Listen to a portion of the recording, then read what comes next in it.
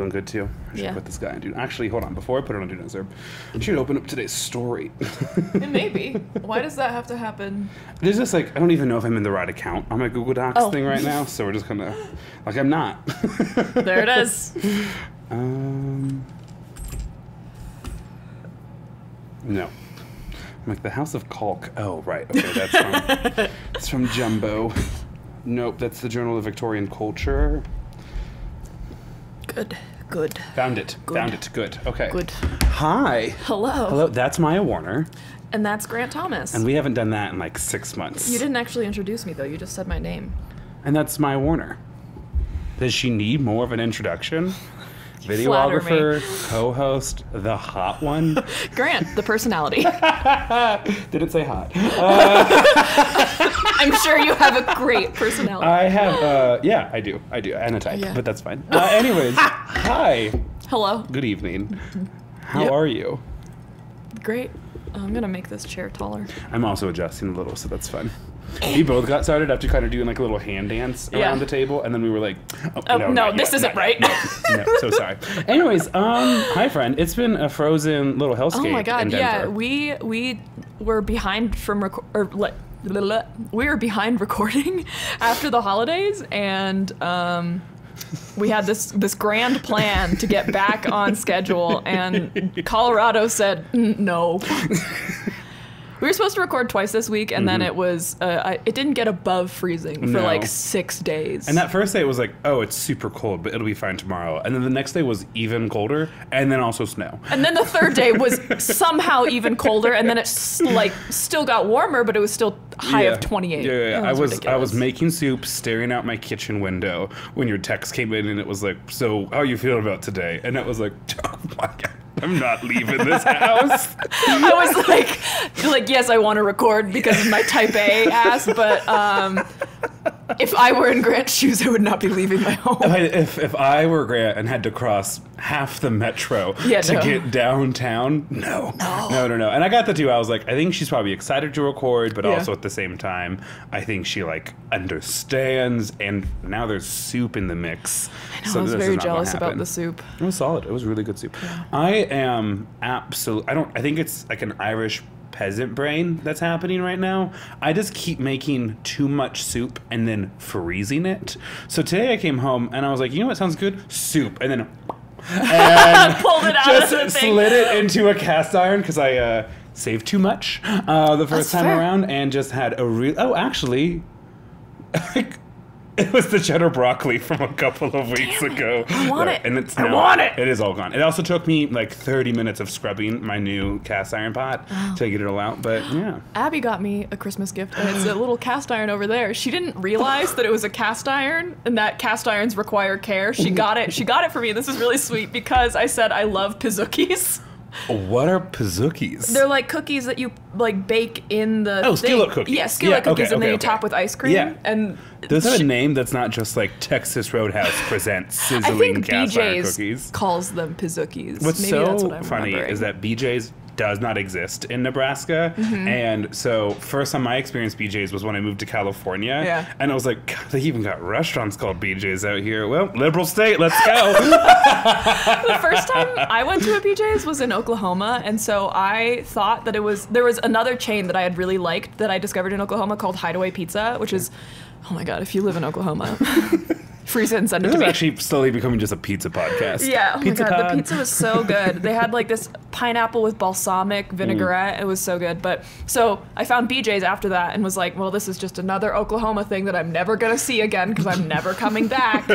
and um, Maya got stationed out there for work. She wasn't like, oh, weird, disappointing vacation to Oklahoma. No. she was like out there for work and she's like, I did my tour. I do not have to do that anymore. I hired a younger person. yeah, and then I found out there was BJ's here, and I was like, life isn't so bad.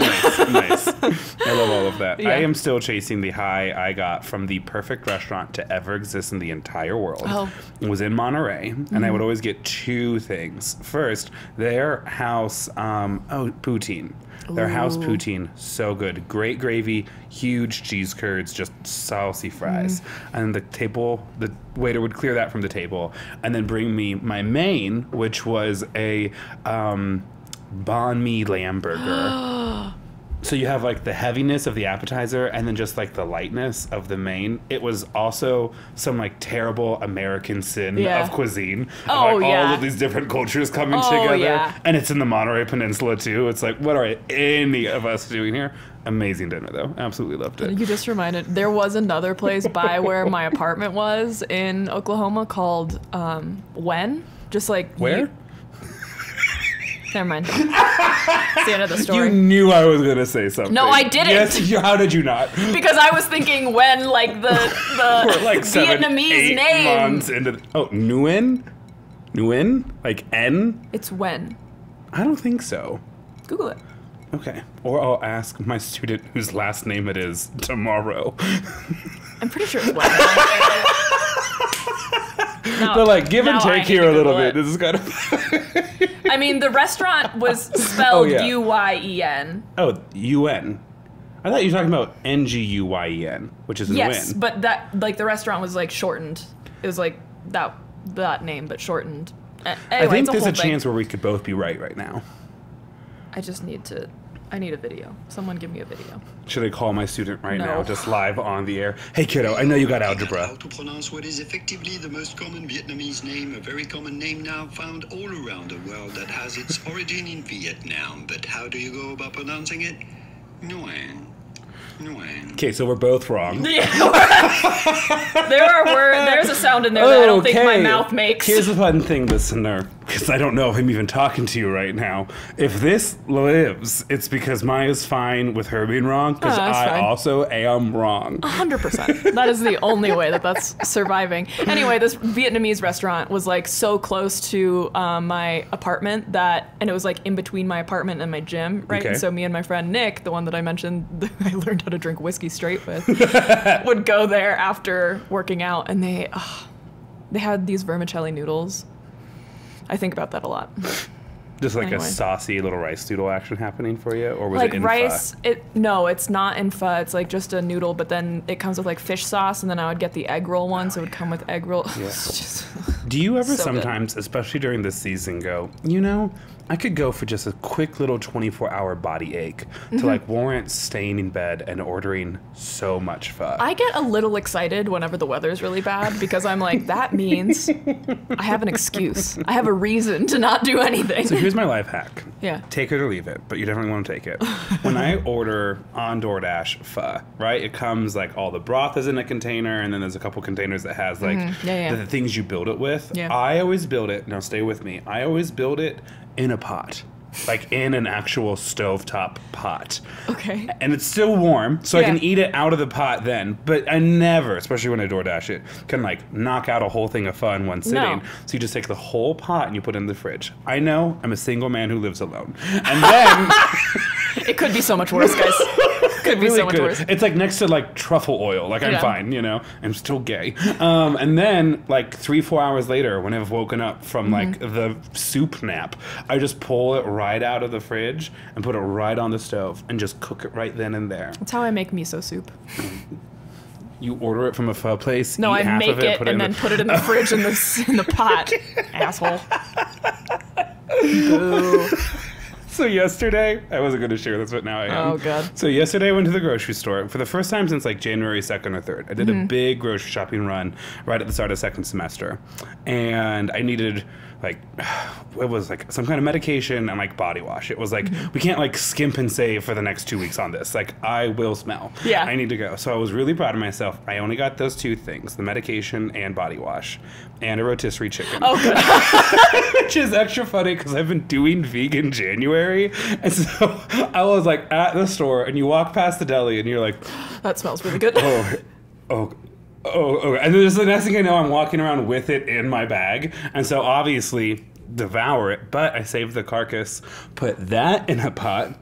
Also made a little uh, chicken broth tonight. You know, for your vegan January. Listen, it's it's fine if it's not vegan, if it's also not wasteful. You know, I'm using all You're parts of the chicken. You're making so many excuses. Yes, because for it's- your fucking high and dry January. because listen, it's about the spirit, not the letter. As I told our friend Tyler, who was vegan for a little bit and was like kind of making it everyone's problem.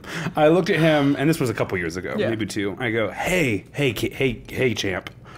There's no vegan police. You know, it's way more about just doing your best than it is like really getting it right. So you now know? you're the reason why he points at every sausage we see. He's like, "This is vegan, right?" And like completely ignores everyone no, who's I've like, tried "No." to break. Oh yeah. Oh yes.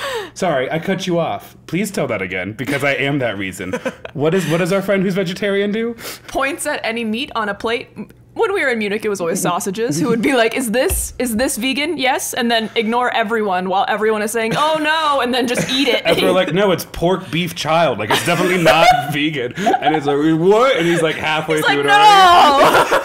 Yeah, because like I was like, let me break down the math with you. If you go hardcore vegan mm-hmm. for like seven days and it breaks you. Yeah. you had seven vegan meals, right? Or fourteen if you do lunch and dinner, Yeah. right? Versus like, well, you know, I can make a couple exceptions, like if I'm at a dinner party or if I'm at a restaurant or if I'm getting body wash and I want a rotisserie chicken, like you can make, you can make a the classic conundrum that all vegans have dealt with. and if it just kind of scratches that itch and then helps it so much easier to go on, then at you know at the end of the month, maybe you haven't eaten vegan four, five, six times, Mm-hmm. right? But you've still had over 20, 30 vegan meals. Mm-hmm. So if you're thinking about it long term, right? It's whatever keeps you in the game. So whatever keeps you in the game. There are no vegan, So please. funny. And I will not apologize for my rotisserie chicken. I'm not asking you gonna I'm just gonna make fun of you for I it. can already tell you it's amazing broth. Did you know that? Oh, I know, because everything you cook is probably better than anything I will ever cook. Okay. You can't just like compliment me like that out of nowhere. I don't cook. We were in the middle of making fun of everyone we know and love. You're right.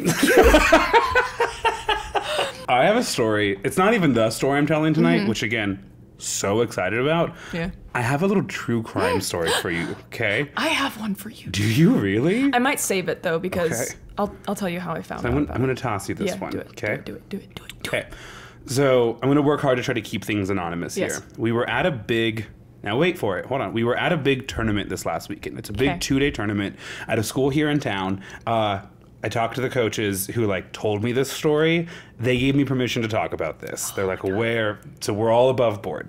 Um, they host a really big two day tournament. It's honestly the biggest tournament between now and state, and they do a great job running it. It's this big school. I can't say enough about these people. Yeah. One of the things they do is as the tournament wraps up and they like finish using classrooms for competition, Mm-hmm. they have their kids go in and put a thank you card and a little basket of candy or things like that. And I'm telling you, it's a huge tournament. So they use all three floors, like all wings of the building. But as you like proceed through the competition, the pool of contestants gets smaller and smaller because naturally you're eliminating people. So like third floor comes offline, second floor comes Right. offline, first floor left wing kind of goes offline, right? And as those come offline, the kids go in and check. So this is important to know. The kids are checking the rooms before the tournament's done, like before awards are started. I'm so you can scared right start now. to knock things out. And they, you kind of have like the grunts, the freshmen and sophomores who go in and do a bunch of that stuff, and then you have your like leader team, your juniors and seniors, kind of Go in and just like kind of yeah. quality check it. Yeah. So No, no, we're in the no, last round, and some of the seniors quietly come back, and they're really mad that it looked like third floor, like kind of left wing. Yeah. They didn't do it. They went into all of the rooms. Not a single one of them had a thank you card or a piece of candy. Yeah. And so they like contact the kids that were assigned to do it, and of course they aren't there anymore. But they're like, swear to God we did it, right? But it's like, Yeah. uh, it's freshmen. Like they don't understand how important that is. To, like make sure like teachers are still happy Yeah. with it. And so those leaders go back up and like put things back Do it. up. Yeah.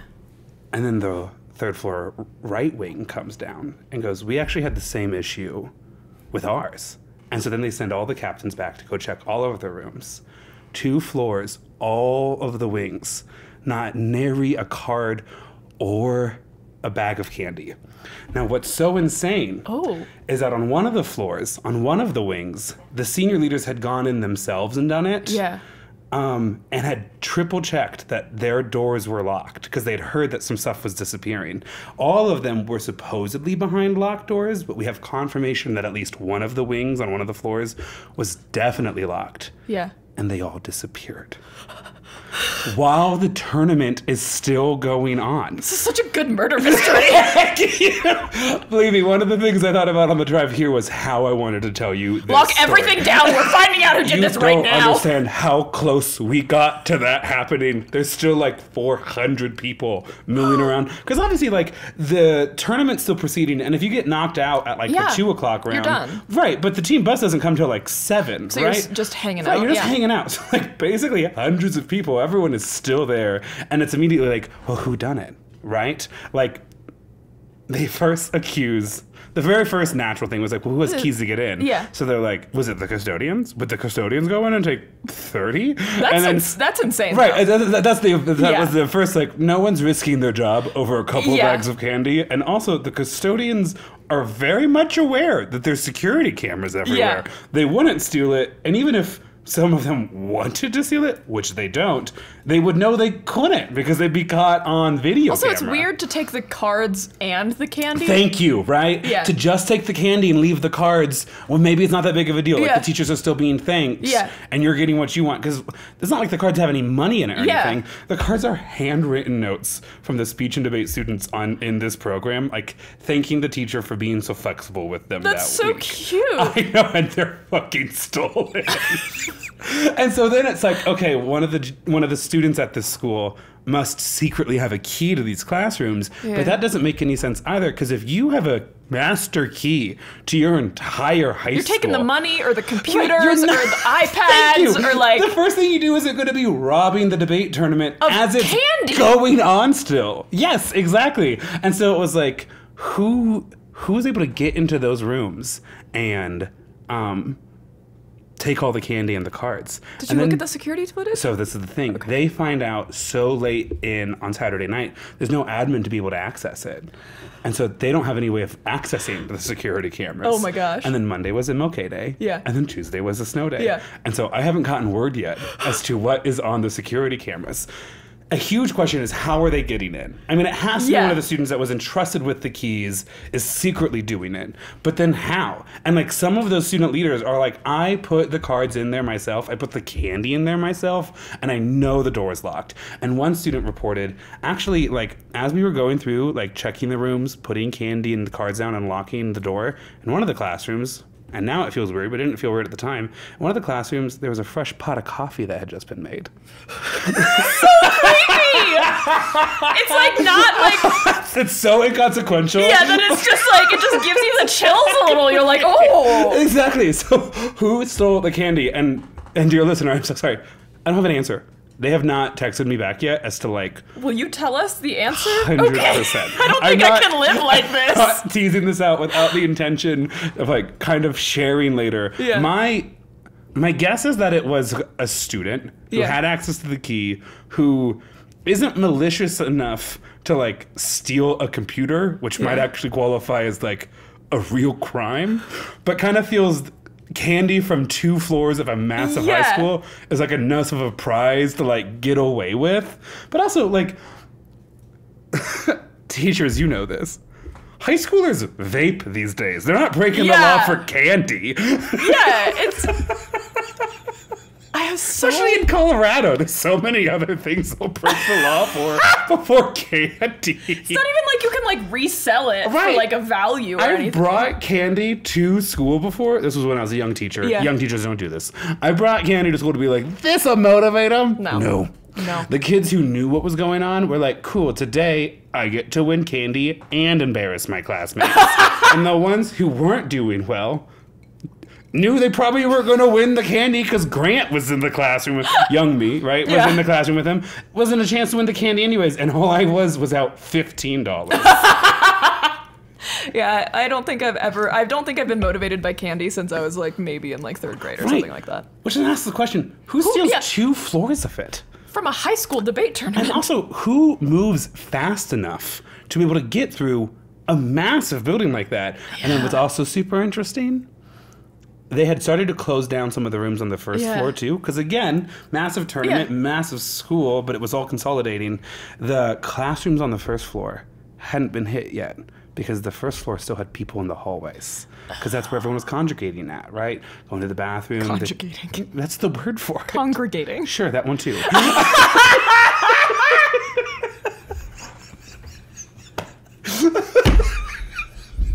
what does conjugating mean? Isn't it like an illness? to conjugate? It's like when you do the conjugation of verbs for like when you're learning Spanish. Is that French. what it? Oh, conjugated, yeah. Yeah. Well, it explains why I use that word so often.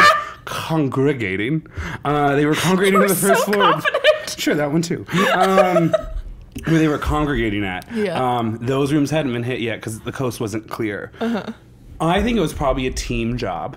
That was, Yeah, that it was more than one yeah. person, um, just to be able to move that quickly, or at least someone who could like be on the lookout, Hmm. you know, and like text or call or something like that. Yeah. It has to be someone who knows the tournament well enough to know that the second and third floors were Were- going to be empty. So it wasn't like a random like student from the school Yeah, who was there that day for happened to be whatever else, yeah. right? Or like there for community service hours or NHS stuff or whatever. Like it had to be someone who was familiar enough with it to know like massive tournament going on, but at this point, no one's going to be on the third floor. Yeah. and also probably not the second, unless they're trying to find a private bathroom to poop in, which does happen quite a bit. Wow. Yeah. So Wow. that's so that's kind of like the could make a hot whole buzz movie right about that. We could make a podcast. Of it. I'm already imagining like the serial intro music coming in. So, anyways, we'll keep you updated. We'll keep you posted. I'm so glad that you enjoyed that. I was afraid I was going to toss this up, and you're going to be like, "Grant, I watch real crimes happen on documentaries. No, that one was doesn't so interest me." fascinating. We have maybe a bit of a doozy tonight. I mean, you guys know because you know exactly how long the podcast was because you can see it on your Yeah. little app as it plays. I don't We really don't. know how long this is going to be. Here's a fun story, Hmm. dear listener. Uh, Grant's really excited about this episode. He also is aware that this episode's going to be longer than some of his other episodes. And so waiting for this he moment. was like, I'm going to come early. And I was like, okay. Sure. And earlier today, as I was driving home, I was trying to figure out if I could make the workout or not because I was like late coming home from work, and the workout's at 5:30 and goes till 6:15. And I texted him, and I was like, Grant would have texted me by now if he's going to be earlier than six. So Yes. yeah. so I'm gonna ask him when he's coming, and that I'll be home at 6:20. And then he was like, I got home late, later than expected, so I'll be there like 6:30, 6:45. And I was like, perfect. That gives me time to get home, start setting up, shower. I got home. Casey brings down the panels while I'm setting up because we're like, Grant's gonna be here soon. Dear listener, he showed up at 7:05. We usually meet at 7. So his I'm coming early, letting me know this several days in advance was actually I'm coming on time. Here's the thing. It's like a series of dominoes fell. First, my kids just love to be in my room after school because it's like a safe space or adult. whatever. And there's a couch. But Yeah. um so, you know, I was trying to kind of clear out the room at 4:15. I officially left campus at 4:50. Mm-hmm. So I was like, okay, so that's a, that's a miscalc right there. Yeah. And then it did it did take the broccoli cheddar longer to de-thaw from the freezer. I mean, I was like, we're cooking in this cast iron right now. It did take longer than I thought it was going to. So that, and then you know, I'm eating the soup and I'm adding some stuff, and I was like, oh, right, I was gonna add that one more thing. So I'm like copying and pasting things over, and then I'm like. "Ugh, Ate that soup too fast. Okay. All right, let's go. Let's go. Let's go. Let's go. Let's get changed. Let's get ready. Let's go. What sweater do I wear? What was it? When have I worn recently? And then next thing you knew, it was 6:37, and I was like, well, we're gonna come just a little bit early, and that's okay. Like it will still be there before seven. And then I get caught behind a car that goes 15, and you know how when it turns yellow and you can make it, you make it. Yeah. They weren't making it. they were not making it thrice. Um, and it drove me up to the wall, but I was like, it's fine. They turn. I'm now in the neighborhood. And there's like an event going on. Normally I can park right out front. I'm in shorts right now because it's like, it's like a six step walk and instead I'm parked three blocks away.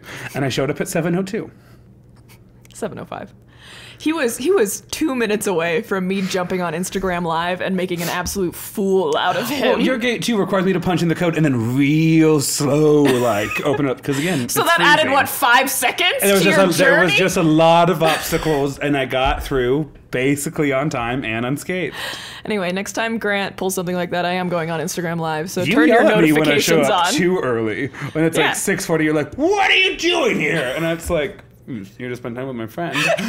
Because it's either it's that you show up 20 minutes early with no warning, or you're late. Right. Oh, also, you know 100% that's what's going to happen next. Yeah. I have been yelled at, so you're going to get me an hour before I'm supposed to be there I now. will be home. I will be at my workout. and I will. Instagram live. I, I will figure out how to do an Instagram live, and then I will do an Instagram live. If you follow my personal Instagram, you're probably going to see me experimenting on that one first. Okay. ed- anyways. Anyways. Let's get into the Let's story, into shall okay? we? We ready for this? Yeah. All right. So, do you remember anything from the last time we recorded? Last time was good cop, bad cop. Yeah. Yes. Yes. Okay. Um, so you know a little bit about like where we are starting Yeah. this, things like that. Normally, I ask you a question. John Wilkes Booth. The answer. We're gonna be right back after a quick commercial break. I'm not gonna tell you anything at all. I'm not gonna tell you anything at all. I'm gonna read this first paragraph, and I'm gonna ask if you know Yeah. this person or not. 'Kay. If you do, dope. Gonna keep going. If you don't, dope. Gonna keep going. Okay. uh, it's just, it's fine. I want to read this paragraph for you. 'Kay. Okay. Sitting on his casket, in the back of the wagon, bringing him to his own execution. John Brown looks around and observes, quote, This is a beautiful country. I did not have the chance to see it before. The year is 1859, and while John Brown's story is coming to an end, America's is just beginning. Tonight, we are going to cover the life and cause of John Brown. I have no idea who that is. Yes, you will at some point in the story Okay. know who it is, and that moment is going to come like 30 minutes to three hours from now. Like it's really hard in my own brain to time things Are you out. sure that I'm gonna know who this is? That's such a generic name. I'm I'm aware. Yes, Okay. I am. 65 to 75 percent sure you're going to know That's who this high person enough for is. me. I'm not gonna know. Well, I was. It was higher before you said, "Are you sure I'm going to know this?" And I was like, oh, "Fuck." I mean, I guess what certain these days. okay, John Brown. Mm-hmm. Let's hear it. and um, I'm going to come back to that quote. Okay. uh, which was word for word. It's a beautiful country here. It's a beautiful country. I did not have the chance to see it before. We're going to come back to that later on in tonight's episode. Mm. okay. Okay. Okay, so born in Connecticut in the year 1800 and raised in Ohio, John Brown was the child of devout Calvinist who believed that life on earth was an ongoing trial and that the true believer had to adhere to a strict code of right and wrong or else answer to God. His formative years were defined by an image. When he was 12 years old, Brown witnessed the brutal beating and death of a slave boy, a jarring event that would forever haunt him. See, he was born in Connecticut, Okay. raised mostly in Ohio, but by parents who absolutely hated the institution of slavery. Yes. And um, will instill that in his son. Are Calvinists a denomination of Christianity? Yes. Um, kind of. I think they're still around, but they had like Yeah. a big time. Yeah. I'm not a great when it comes to history of religions in America, but? Calvinists No. were, and it's New England too, so Yeah. Mm. it's super. I think more common back there at the time. Um, also, this is kind of like a quick programming note in here. Um, I have a degree in history education. So this is something that we have talked about like at conferences and stuff. Other than this sentence right here, you are not going to hear me use the word slaves. You're going to hear me refer to them as enslaved black Americans or the mm, enslaved. okay. I want to, and this is a like kind of an intention in the history teacher community. I want to make sure we are prioritizing the fact that they are there because they are being subjugated to it, not okay. because they like deserve it or like they were rightfully born into it or it's like a condition of their personality. Right. We were actively enslaving them and then in that enslavement physically, sexually, mentally and emotionally abusing them. Yeah. And we need to make sure that it's an active verb enslaved as opposed to just like mm, they're tall or whatever else. Ah, okay. Okay. So I'm going to say that. So I'm never going to refer to them as slaves, things like that. We're going to use um, a bit more specific language. And if you have an issue with that, I don't really care. I have a degree in history education. I'll mess it up like five times. It'll be fine. okay, so John Brown um, grew up mostly in Ohio with his parents, but he goes back to Massachusetts as a young person to become a minister. Then he becomes a farmer. he tries to become a minister. This man is, I mean, this is going to be a theme throughout this Yeah. entire episode, like insanely religious, which is not really something that I like generally vibe with. Yeah. In this one instance, serve king. Absolutely. and when I say king, I'm sure he would mean Lord of Lord, King of Kings, Yes, our Lord above Jesus. Um, but he, for reals, in a way that I feel like you rarely see in historical figures, like walks the walk, talks the talk, shoots the shoots. Like he Um, actually lives the principles. um, yeah, and then and then some, and then some too. Kind of both in action and word, um, and in crime, or not crime. He's a complicated man who's misunderstood. No, honestly, he- Misunderstood author. he is uh, he's a man not a woman uh, so we, we broke that trend Ah. and um yeah, we're gonna get into it. Some of you are like, "Yeah, I know who John Brown is right away," All right, and others down. are like, "What is Grant talking about right now?" So after, Wait, stop for a second. We Mm-hmm. ha- this reminds me of Toby in The Office, where he's like talking about Michael has decided to like start being HR and like resolving conflicts. And there's a talking head of Toby. You don't hear what the question is. You just see him talk about his past. And he's like, "Yeah, so I went to like the I went wanted to become." like a monk or whatever for whatever religion he was in and then i met this girl and then i, I left so that i and married her so that i could have sex with her and then i joined hr because it was close to where she was so no i wouldn't say that hr is my passion I want you to know too, kind of like for you, Yeah. there's an office joke, like four paragraphs Hell yeah! from now. I love you. um, so goes off to become a minister. Obviously, devout parents. He himself is devout. Goes to school to become a minister. Yeah. That doesn't work. He instead becomes a farmer.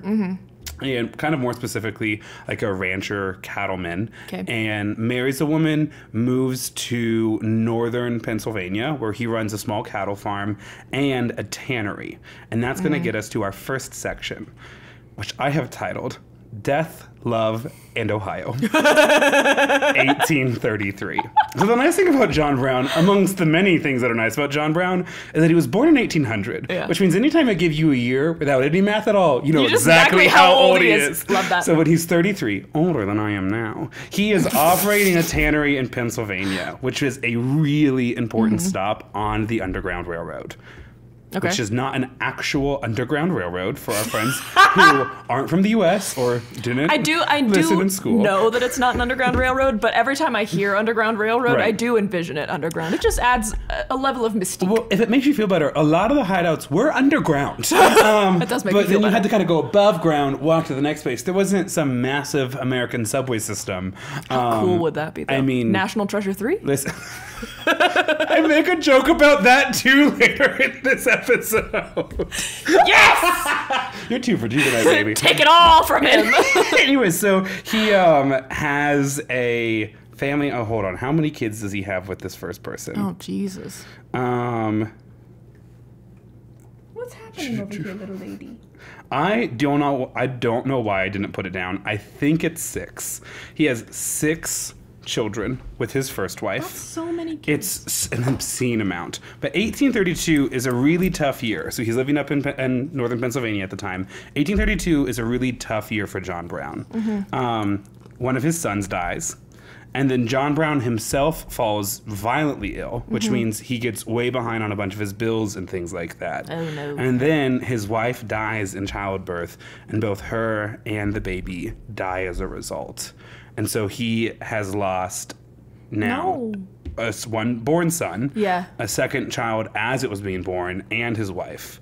And so he, he just still has five kids. uh huh. Oh, and a tannery and is part of the Underground Railroad. yeah, there's a lot of stuff going on. So he just kind of picks up and moves back to his old stomping grounds in Northeast Ohio and immediately marries someone else. As one does. He marries Mary Ann Day, who by all accounts really is an OG in this. Mm-hmm. Okay. Uh, her name then becomes Mary Ann Day Brown.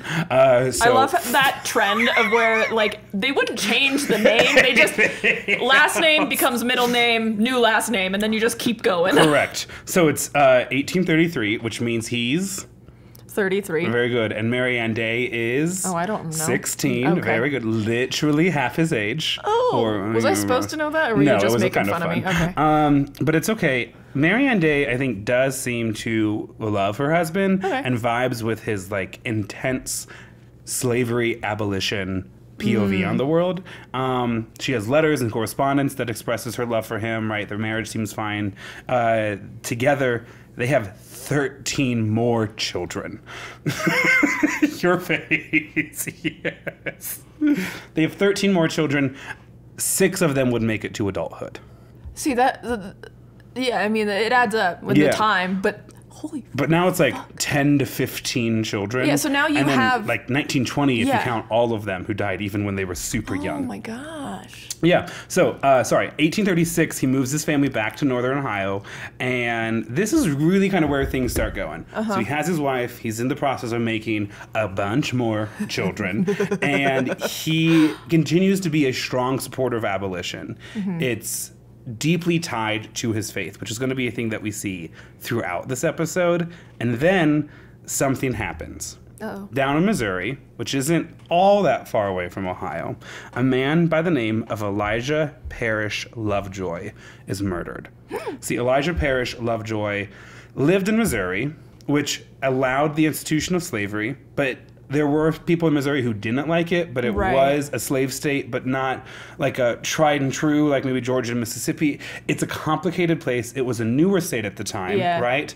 And so Elijah Parish Lovejoy moves down there, basically buys a bunch of bunch of printing presses and starts running newspapers that Oh. are anti-slavery. That is also why a that. white mob hunts him down and burns him alive in his own barn, Oh, along with some of his printing stuff. Um, there's a couple other things too. Wait, that, sorry. Go ahead. What did at the beginning of the story, the little like shindig you did where he was on his casket? Uh-huh. What state was that in? It was in the state of Virginia. Okay, cool. Was that a clue for you? No, I just I Oh, okay. I just wanted to see if it was Yeah. still in Ohio or not. John Brown was executed in In- the state of Virginia okay, at cool. the time. For those of you who are on YouTube, Mo, I don't. Mo has been standing in between us like this whole time, and I don't know what her deal is, but she's very cozy right She's now in my she was very affectionate when I came in. Every time I looked at her, her mouth was just open and she was staring at me. I was like, "Love you too, girl." I think she's a little cold, maybe, and she Hmm. she needs her sweatshirt, but I'm not getting up to get it. So Um, so Elijah Parish Lovejoy is murdered in Missouri, essentially for being anti-slavery, Mm-hmm. and he had worked hard to spread the word of abolition and was really well connected in abolition circles, Right. circles that John Brown was starting to run in. Okay. So Elijah Parish Lovejoy's death absolutely rocks John Brown. Yeah. And then basically that next Sunday at church, John Brown stands up in one of the pews. He's not the pastor or anything. He's just a parishioner. Stands up in one of the pews and says this quote, Here before God, in the presence of these witnesses, from this time on, I consecrate my life to the destruction of slavery. oh, And if you've ever heard a man make a promise, I get it. I get. Sure, who hasn't heard that before? I'd love for you to meet my mom. Whatever, right? Have you seen the TikTok of the guy who volunteers to help uh, firefighters like practice emergency situations?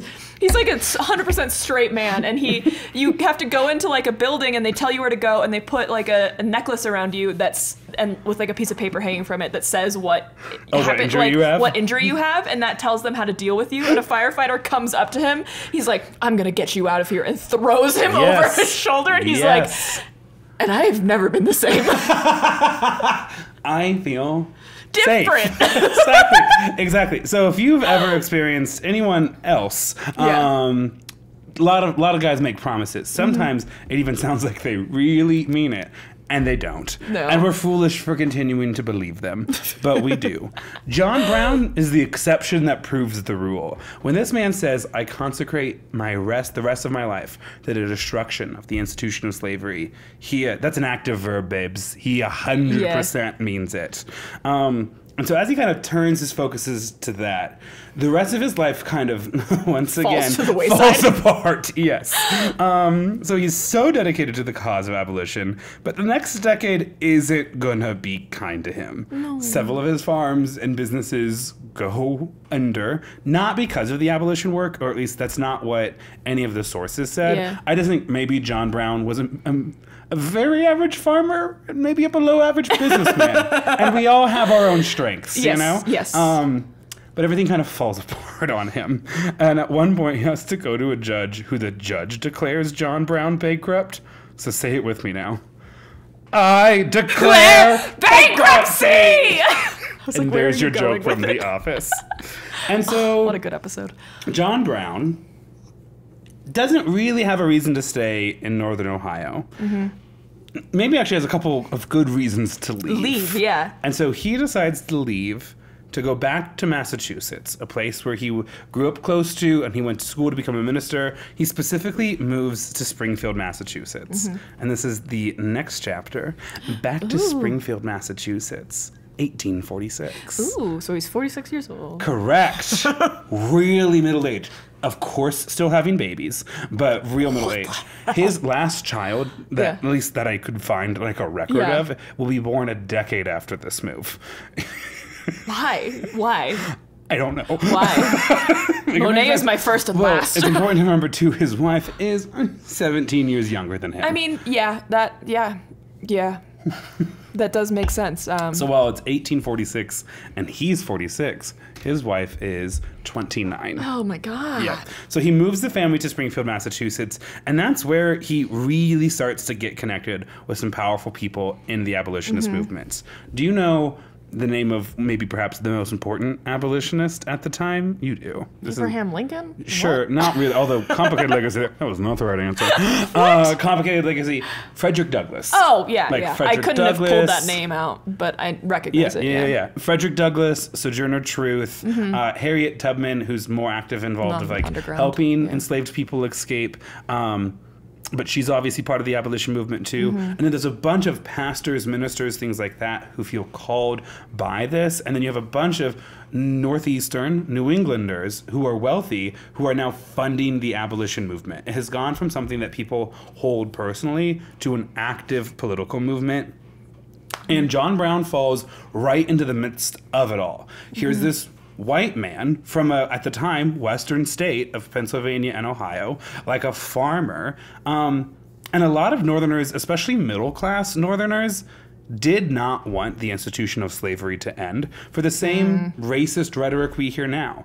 They didn't want enslaved, formerly enslaved black Americans moving up north and taking their jobs, right? Obviously, there's some racism elements to it too, Yeah. but at least initially on the surface, there's a lot of economic Yeah. arguments. Did you hear uh, Chris Christie's resignation speech or the speech Was that he, he still running? he was still running up until like last week? It's that moment from The Grinch. yeah. Are you two still living? no, I had no idea he was still running. What did he say?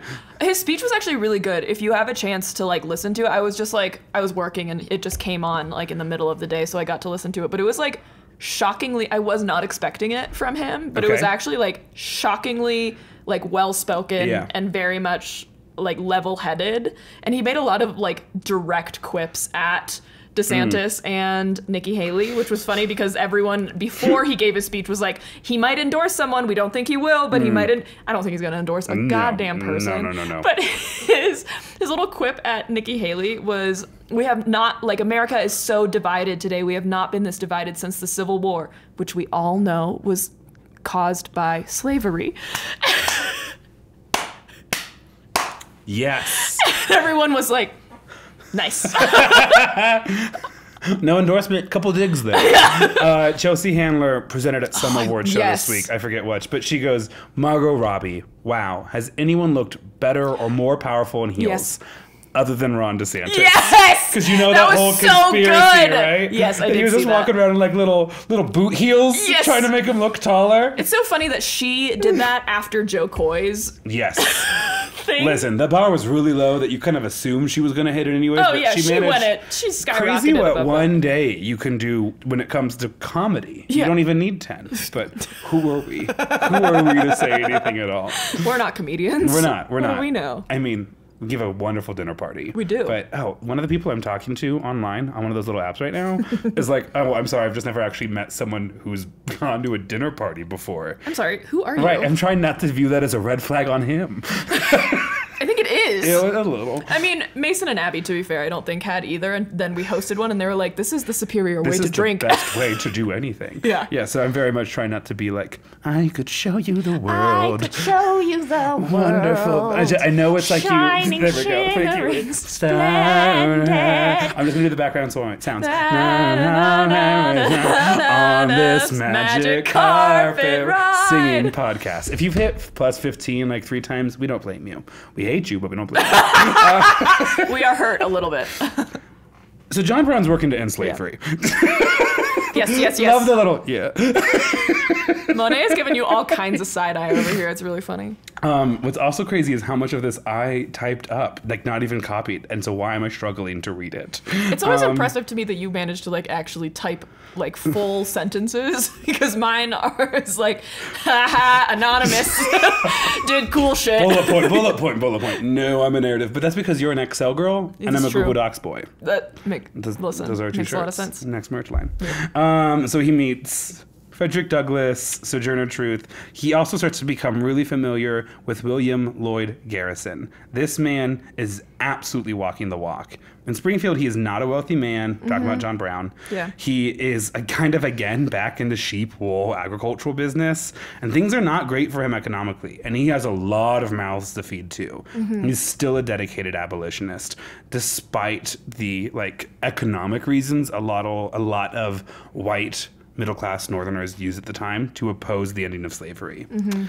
And so it's up there that he kind of gets connected to this whole network of wealthy people looking to fund abolitionist movements and causes. And what's kind of cool about John Brown is he never seems to try to use these connections to personally enrich himself. I think one of the reasons why he kind of lives on a farm for basically his entire life, or Yeah. his family does, I think it's kind of like you can grow your own food, right? Cool. I'm off to do other work. Bye. A little bit. That's like definitely the vibe I get. So, this next section, I had to section it because there's so much stuff going on. What is she looking I, at? don't, I have no idea. She's really Herself? she's really invested in something. What are you looking at? I'm so scared right now. Is there a ghost in here? No idea. So, this next section I like to call Come and Take It and Fuck You Too. Nice. 1850. So this is a 50 year old man. Okay. How dedicated is John Brown? This family's moving all the time, Yeah. usually after terrible economic situations. In 1850, a new law is passed called the Fugitive Slave Act, which essentially said if you are an enslaved person in a state that allows Yeah. slavery, your condition does not change, Mm. even if you are physically in a free state. So if you Yeah. escape slavery in Tennessee, you can still be captured in New York and legally brought back to slavery in Yeah, yeah, yeah, I Tennessee. remember that. And not only are you, is that allowed, but it basically kind of compelled local law enforcement to do that, to turn the runaway uh, enslaved person back Turning over citizens against each other. exactly Crazy. Wow, Texas. wow. It's almost like you're living in the 1800s. Part of me is like, oh, it's a bit more political than usual today. And it's like, oh, maybe because America has never once fixed any of its Any underlying problems political ever. problems ever. So you're right, but this connection of wealthy abolitionists are looking to do something about it. Nice. So, um, I love money in the right places. see, I love money for my politics. Yeah, right? that's so good. I'm not corrupted by any of it, No, right? no, no, no, no, And no, it's just no. money well spent. Um, oh, I have a whole note about. Okay, we're gonna have to circle back to that in a second. So. John Brown is having none of this quote return black Americans back to enslavement business and starts his own militia in northern New York. Nice. See, up in northern New York, uh, specifically close to a town called North Elba, a man by the name of Gerrit Smith had founded a community called Timbuktu. Timbuktu, I know, I know, Bro. I know. Especially when you find out what Timbuktu is for. Oh, no. Timbuktu will give free land to any runaway enslaved person. You escaped Okay. enslavement and have truly nothing to your name. Come to Timbuktu. Timbuktu, where there will be land given to you by Gerrit Smith and a madman named John Brown with an armed militia who will shoot on sight anyone who tries to bring you back to enslavement. See, see, see, I hate men. Sometimes The exception to the rule. I hate men, I hate guns, I hate money and politics. Except when it's guns, money from my politics.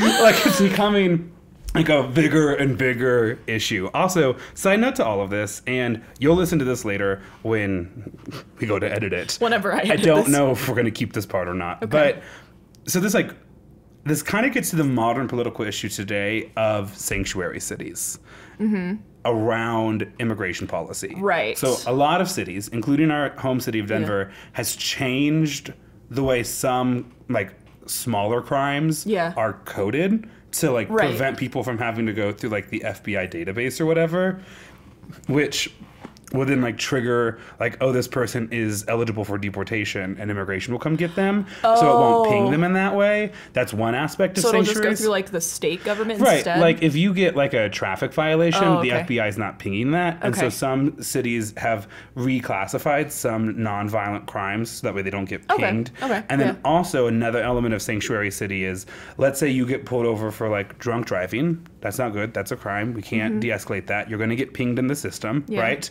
Um, if you get pinged in the system and immigration's like, hey, can you hold Maya until tomorrow so we can swing by and pick her up? Please don't. Right. Yeah. Sanctuary cities won't. They Mm-hmm. will release you as soon as you are eligible to be released, and they will not hold you, which they are Yeah. allowed to do, but they will not hold you longer for immigration to come pick you up. Right. And so it's actually insane how like kind of modern this issue is. Yeah. And then this is the thing that I wasn't sure if we're going to keep or not. I still don't know.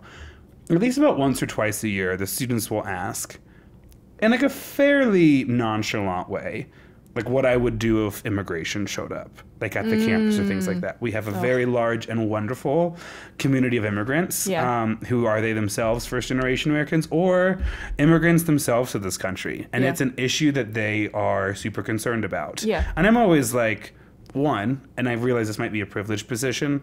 Like, I don't think they're going to show up at the school. I don't Yeah. think that's going to be a decision I have to make. But two, it's like, yeah, well, no, we'll lock the doors, we'll eat the snacks in the snack drawer, and we're just going to hang out, right? Wait for Anderson Cooper to show up, right? Like, Hell we'll, we'll make a thing of it. Listen, I know how dangerous those poor windows are over there. Yeah. They're not climbing through that. We just got to barricade the one door. it's a coffin I spend forever in. My classroom. No, I love it. It's great. and so there's this issue of like, how can you protect the bodies of these formerly enslaved people? And John Right. Brown's like, well, with a gun. A gun. I mean, effective. Around this time, John Brown develops his first nickname, which uh-huh. I love, called the 44 caliber abolitionist. Still don't know. Who he is, that's No. fine. Okay. I don't. That wasn't going to be a name Okay. that triggers you. You just looked me very Well, because intensely 44 in the caliber uh, abolitionist is such a dope ass That's nickname really to have. Yeah. It's the shoot first, bury the enslavers later kind of question when it Sounds comes like to a rapper's name, you know? Oh, Yeah. find us on SoundCloud. Hamilton Part Two. Not throwing away this shot. Bam! And, then, Hey! and another person who thinks they own legal rights over another human's body dies. Maybe it's time for political violence violence. against my enemies. That song is what made this a singing podcast. You know that, right? That and Reba. God, all the keywords happening right now. Okay, so that's what John is. They're making a life for themselves. Yeah. And for the most part, North Elba, which is really close to the community of Timbuktu, North Elba is where, for the most part, the Brown family will kind of set up camp for basically the rest of John Brown's life. Sorry, where is Timbuktu again? Uh, North Elba and Timbuktu is in, as I could find out, northern New York. Okay. Okay. So, 1854. So John Brown is 54 years old at this point. A new law gets passed called the Kansas Nebraska Act. Does that ring any Mm, yes, bells? yeah. Do you want to take a, a stab at it? It's I been a lot of remember there's voice. like a lot of violence, right? Hey! Yeah. Yeah. Do you know who is part of that violence? the 44 caliber abolitionist. Nice. The crazed man with his own militia. The one who's dedicated his own life to the ending of slavery. I do John remember Brown. a crazy person. Good, good, I excellent. don't think we're actually supposed to say crazy person That's anymore. fair. Here's yeah, probably. He um, might actually be a, a little uh, psychologically. He just kind of like would openly talk to God um, on like Mm. horseback, which, uh, grant, I talk to myself all the time, but usually not on a horse, surrounded by all of my sons. As I hunt down Missourians. but I'm no model for how to live. oh my Um, god. Isn't there like a really bloody battle at like a creek or something? Or am I thinking of Montana? No, you're. Oh, am I You're right? on it, babes. You're, what's so funny is you know some of these details, and the thing that like John Brown is known for, you haven't pinged on yet. So that's Don't fun. know. No, it's great. It's great. I'm excited. I kind of hope our listeners are also like, "Ooh, what is it? Ooh. What is it?" It's a real test of like, am I like where on the bell curve am I in terms of like history, history knowledge and our and our listener base. Anyways, so in 1854, the Kansas Nebraska Act is passed. Mm-hmm. For our foreign listeners and people who didn't pass U.S. history or forgot some of it, happens to all of us, the Kansas Nebraska Act was another attempt by our national government to try to address the issue of slavery without really addressing the issue of slavery. There were two territories that had been created and were being governed uh, called Kansas and Nebraska. Those territories would later become states, one of which I'm from. And the Kansas Nebraska Act basically said, oh man, we can't decide if slavery should be allowed in these Yeah. places or not. So we are going to just kind of let the people there decide. High five, team. all right, solved it. Um, and by that, they mean solved nothing at all whatsoever. Just wipe their hands of it. Yeah, like for as long as they could, which was like a day Yeah. from the looks of it all. Yeah. That concept was called popular sovereignty, where the individuals get a chance to vote on whether or not others have rights, much like the Marriage Equality Act movements of the 2010s and now abortion rights. But it's fun. That's really fun. Um, so talking about Kansas and Nebraska. Obviously, I'm going to talk about Nebraska first. so, Nebraska was not defined by the Kansas Nebraska Act in the way Kansas was, which is not to say I can't awe in the middle of talking about slavery, but that is adorable. No, that's staying in. you paused long enough. Fuck you. Monet just curled herself up right into my lap and is now laying like, like how on we my have to arm. like beg Casey to get in the camera, and Mo's Mo's like, like, "I'm just gonna time for my in right close-up?" real quick."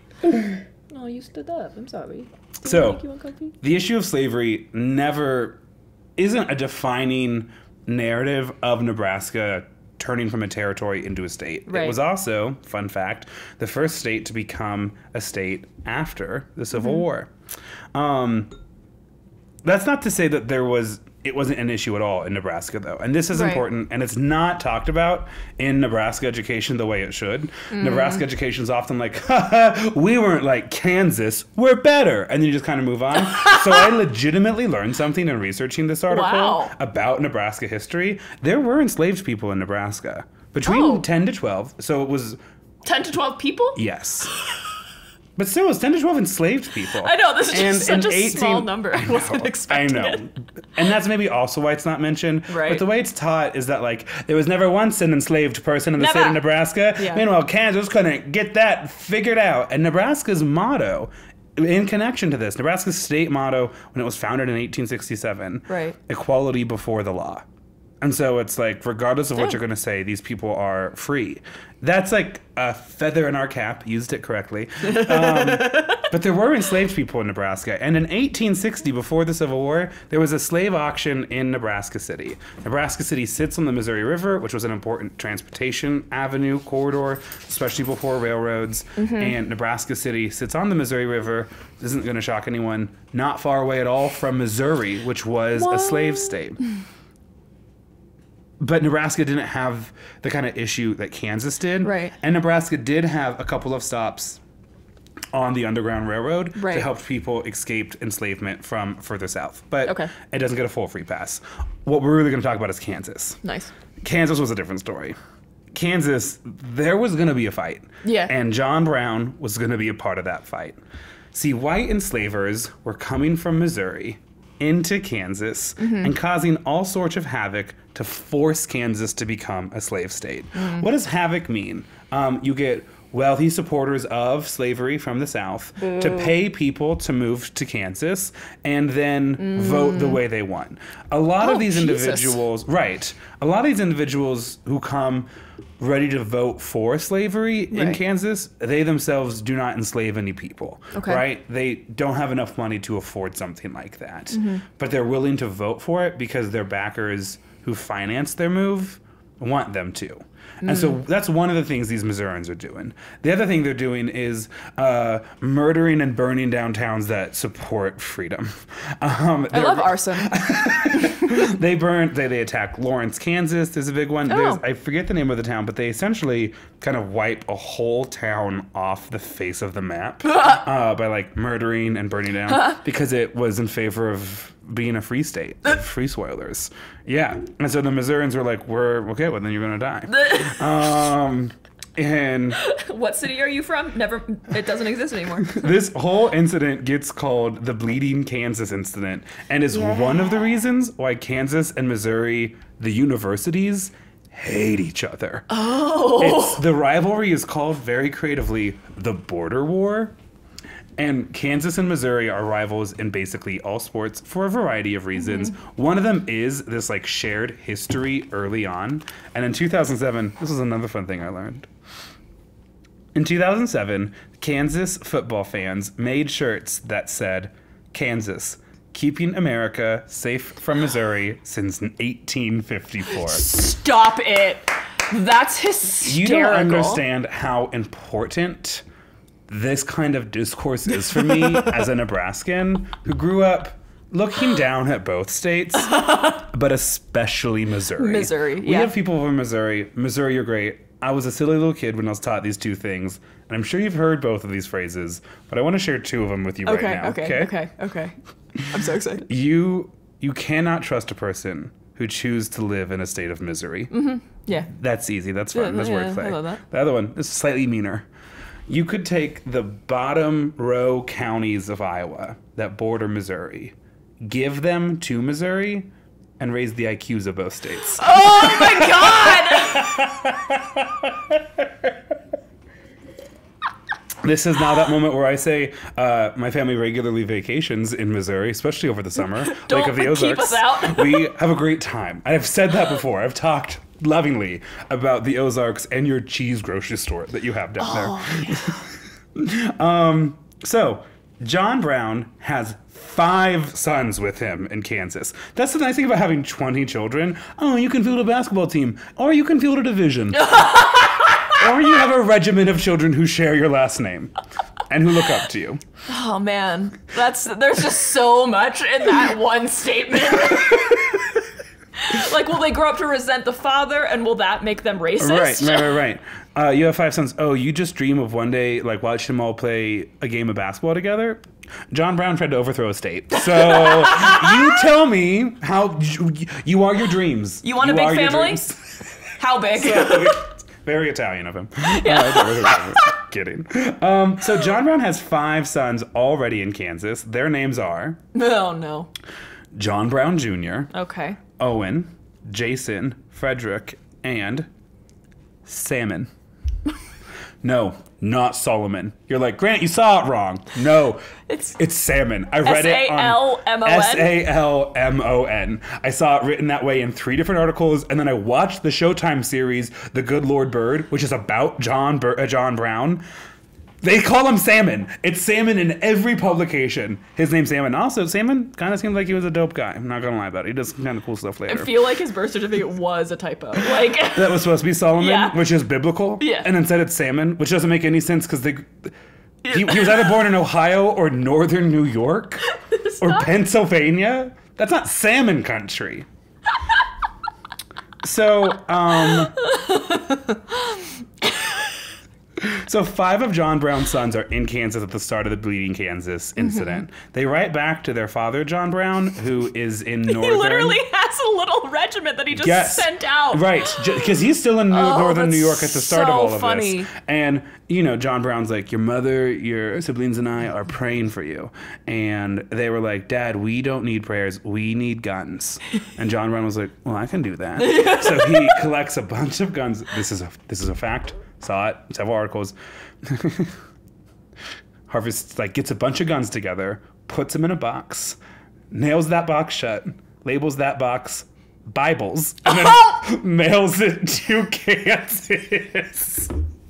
And then, I'm sorry, doesn't mail it to Kansas, puts it in a wagon, and then brings himself and two more men with him to Kansas. Oh we are up to eight. So, yeah, so he brings guns in a box labeled Bibles, brings his sixth son, Oliver, and a son in law, Henry Thompson, and they get to Kansas. Now Oh there's eight of them. gosh. He's kind of looking to do something with it, Yeah. right? So they're trying to support free soilers, trying to end slavery, trying to get the Missourians out of Kansas so Kansas can be a free state. Right. And then in May 1856, a couple of things happen. Like basically on the same day, pro slavery forces burn down Lawrence, Kansas, Okay. which today is where the University of Kansas is. A at the time, like perhaps the leading free city in this state of Kansas. Damn.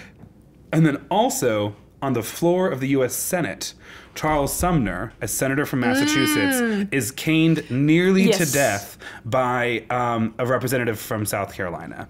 Those both happened basically at the same time. And for John Brown, he's like, perfect, thank you. Now I get to murder people.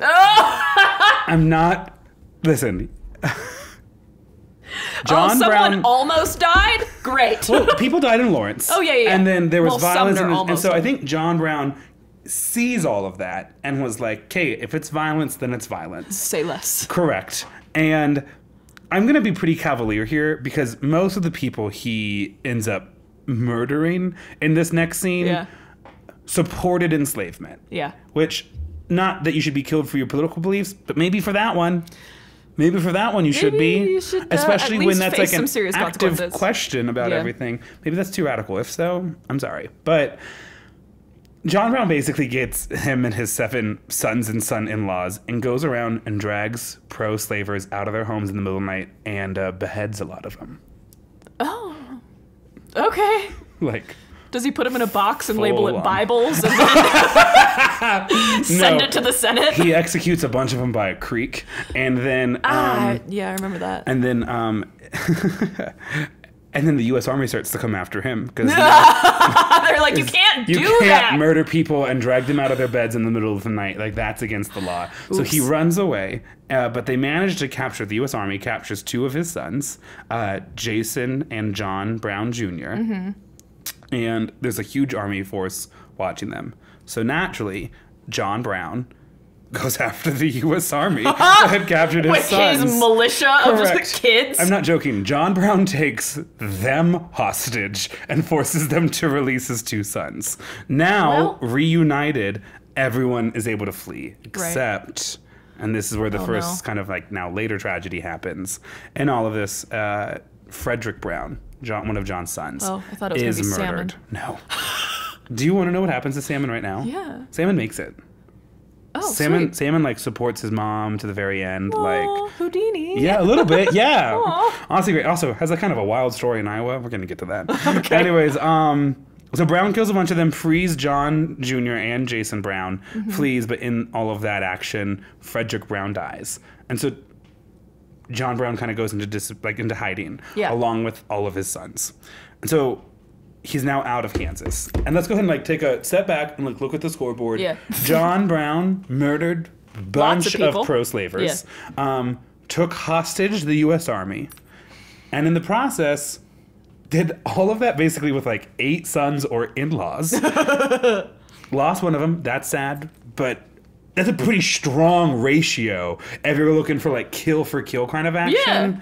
Obviously, the death of his son is a tragedy, tragic. but also cannot emphasize this enough. John Brown goes to Kansas kind of assuming he's going to die. He's like, I'm going to kill as many of these pro-slavery mofo's as I can Until somebody else get gets me, yeah. Exactly, and I will have done my bit for God, who is demanding I do this. Like Liam Neeson was motivated because his daughter was gone. Yeah. John Brown, John Brown was motivated by God. This was not a man who you could take his religion from. And so this next section is titled "A Man and a Mission." John Brown leaves Kansas, and even though one of his sons is dead, Yeah. um, Kansas actually kind of teaches him that maybe it is time for political violence against my, My enemies. enemies. it does not dissuade him that violence is not the answer. If Yeah. anything, it reaffirms in his own mind and understanding that the only way the institution of slavery will ever come to an end in this country Mm-hmm. is through radical bloodshed until the institution ends. And he sure. intends to be that radical bloodshed. I mean, Sure. So he gets out of uh, he gets out of Kansas in like 1856, early 1857, and then he spends the next two years raising money and buying guns. Kansas taught him that violence can end slavery, or at least help prevent it, and reassures him more than ever that those who seek to protect or expand the institution of slavery should be met with death. Hell yeah. So naturally, well, a lot of people want to see an end to slavery. Few sign up to like full on invade the South, which is what John Brown is trying to get everyone to do. Okay. But he carries forward with his plan. He gets in touch with a bunch of abolitionists. He's giving speeches, he's raising money, and he kind of comes with a plan. A plan that he never actually writes down on paper because he doesn't want to be exposed. Yeah. But talks about extensively Okay. and begs Frederick Douglass to join him on mm. before Frederick Douglass says, No, that's crazy. John Brown has decided he's going to attack a U.S. armory, gather its weapons, and hand them to the local enslaved people. I do remember. And the town he picks, do you remember the name? No. The town he picks is Harper's Ferry. Yeah. We are, we for the last Wow. hour, I think, I have no idea. Hour, maybe 18 minutes, who knows? Monday, how long was it? In dog years? I like usually I really have no idea. No, I have no concept Also, of time. Harper Ferry is kind of like the halfway point of this story. Any Nice. questions so far? no. The more and more I did of research about this man, the more I was like, God, this man is cool. God, this man's an OG.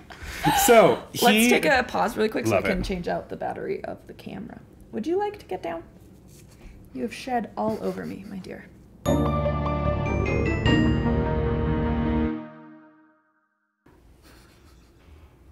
I love you so much.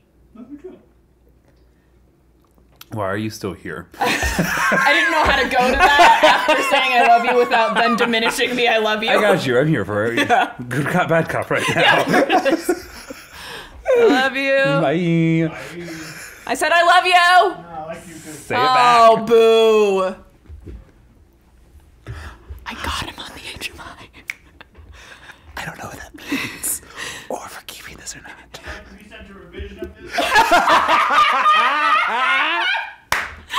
Can we send a revision of this? Hum- human machine interface. Ooh. Anytime you tell a machine what So to do. what's so funny is I thought I was like, oh, like this close to get, and then oh, oh okay, so I'm not. Um, so the buttons work? Is that it, or like so what an HMI like in a factory setting would be like a screen that shows what process it controls. Okay. And then some the operator can so go it'll be a up to screen? it. yeah, with- and press all the buttons. Yeah. So But it's if- a, so it's a screen. It's a screen. Okay. When the HMI goes down, the process will still run, but no one can control it. So that's what's happening with that. Is Isn't that sorry? Yeah. Isn't that literally the plot of Disney Channel's made-for-TV movie Smart House? yes. okay, cool. It's all an HMI thing. Everything's an H- HTMI thing. Yes. Okay. HTML. Good. Good. PDF. Yes. Um, hi, welcome back. Don't know where coding. we're jumping in. That feels like a Right like there. the last five minutes probably is a good thing to. to yeah, I think. I'll start right when I said I love you, and then you said why are you still here? That's where we're gonna. good. so that way, the truth is out. Yeah. I'm the asshole for the two of us, which actually really is the truth. I, I've only in private heard you say like nice things about people. I'm funny. Uh, anyways, so right before that little break, I don't know um, if Grant's hallucinating or not. What? You've never heard me say anything mean about someone in private? obviously I have, but we're on air right now. Yeah, that's staying in. I can't cut that. That's it's my truth. Okay, so right before the break, so, this was the joke too. Right before the break, uh, John Brown's like, "I'm gonna steal the Declaration of Independence." I mean a huge federal arsenal full of weapons. Hell yeah. So John Brown, private American citizen, wants to invade the South. He's going to use violence to end slavery. He even wrote a new constitution for his efforts that would have ended the Electoral College. Ha! and banned swearing in public. Right, that's what's always what's so crazy is this man's like, I'll shoot dead any enslaver, but I'll be damned if you say damn. I will shoot like a dog anyone who thinks they have a right to another person, and equally, watch your words. Watch your mouth. Exactly. There's a lady present. This bullet will also be the soap that you wash your mouth with. Hundred percent. This this man, and that's what's what's so fun about John Brown as a character is truly his consistency. Yeah. right. You It's can like- predict what he's gonna do. When when doing this episode, I first thought I was teeing off like my next Mary Shelley Yeah. episode. I was like, "Ooh, we're about people about to get got on this one," and then at the end, I was like, "Oh, I did another Sylvester Graham." but unlike Sylvester Graham, who was like, "Everything's bad. I'm definitely not gay." John Brown is like. And we'll push it down. Push it down. Shh, shh, shh, shh, shh, shh, shh. Remember me by selling alcohol and burgers at my former home. Look how fun that episode was. Uh, John Brown doesn't have any of those inconsistencies. He is a man for God who's willing to murder and also thinks you should then watch what you say to kind of in general. That's not cool, man. Did you, Yippee mother lover. did you know I am a failed minister? Anyways, So no, I wouldn't say my passion is in HR.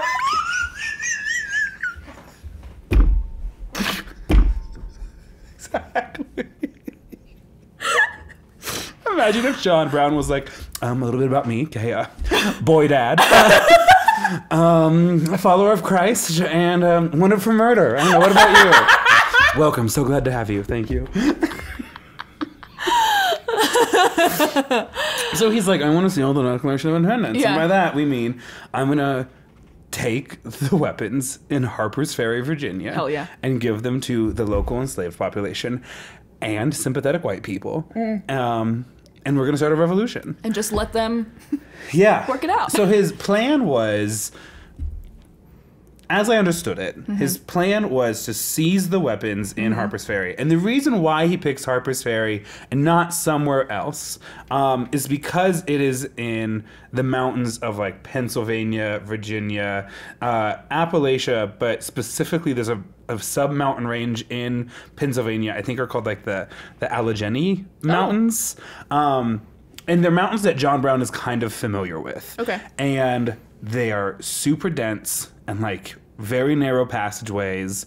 In other words, you can get some armed people up there mm. and kind of hang out up there and be able to pretty easily defend yourself against superior numbers.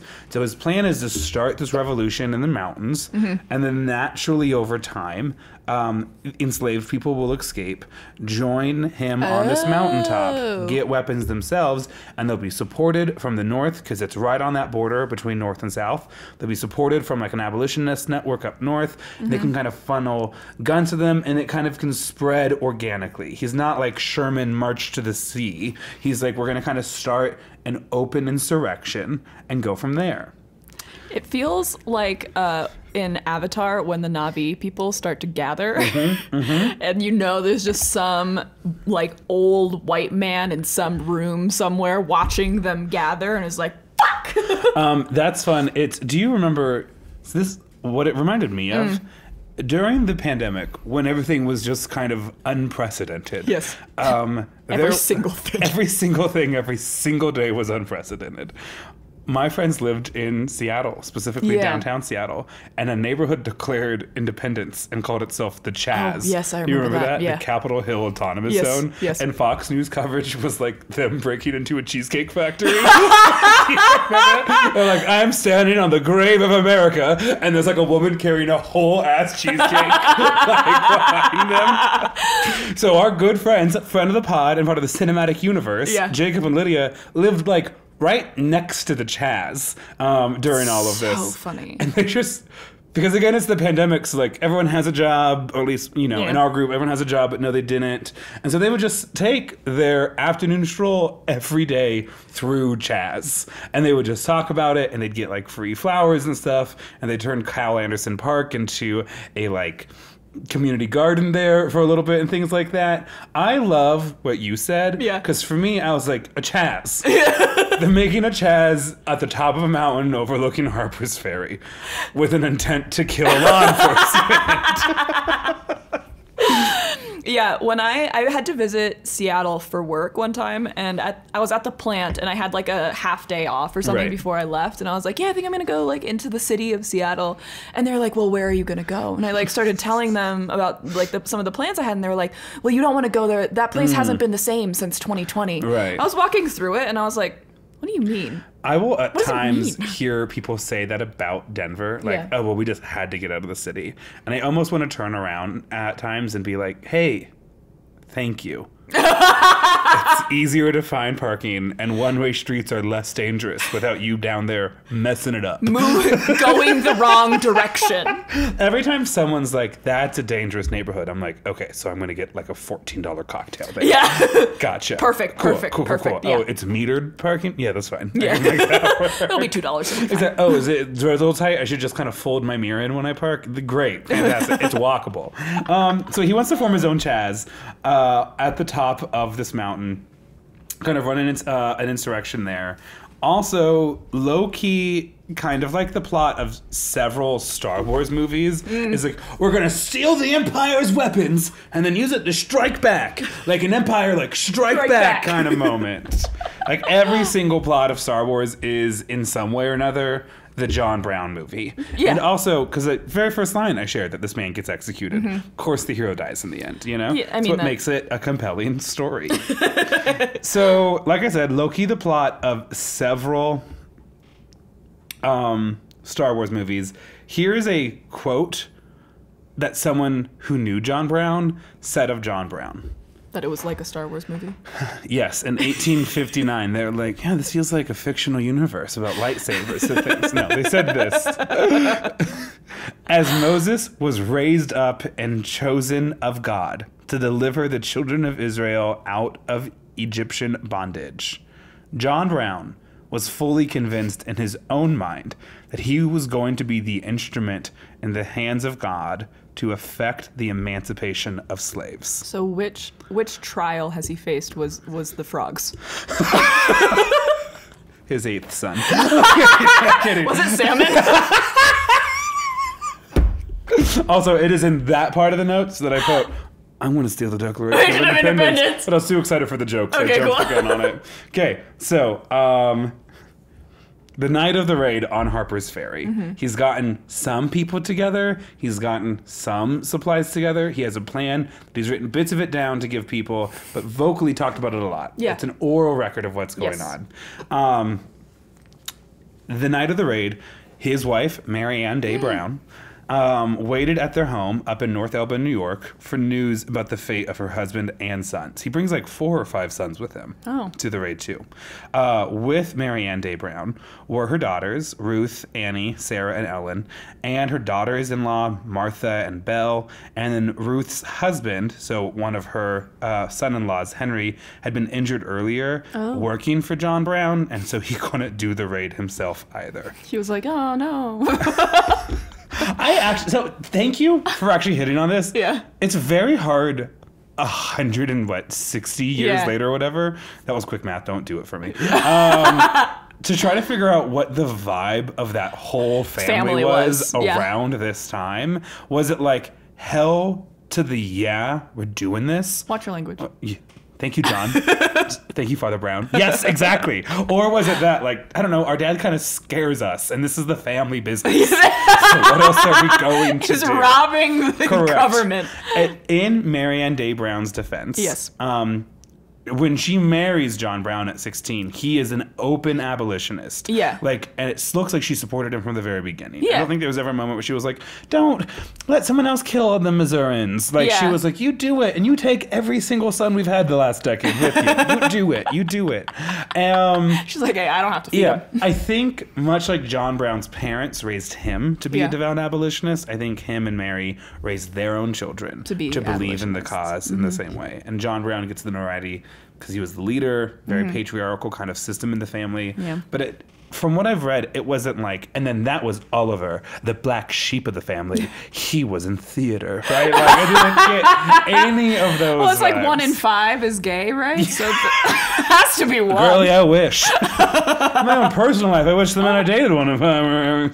I don't know what that was. I don't Maybe know. I shouldn't say this. Say I'll it. cut it if Say not. it. Casey has uh, I don't know if I've told you this. Casey's aunt is like a motherfucking saint. I love her dearly. you Uh, were gonna say lesbian. no, no, no, no, no. um, and they had they always wanted a girl. Okay. And so they they tried for a kid. They had a boy. They were like, all right, well, So we'll try funny. again. They had four quad quadruplets, boys. Wait, so they had one boy and then they had Four four, boys all at So now once. there are five boys. Yes. We have had this conversation though, where they're like, it's one in five, right? Who do you think it is? So she has a regiment. Yes.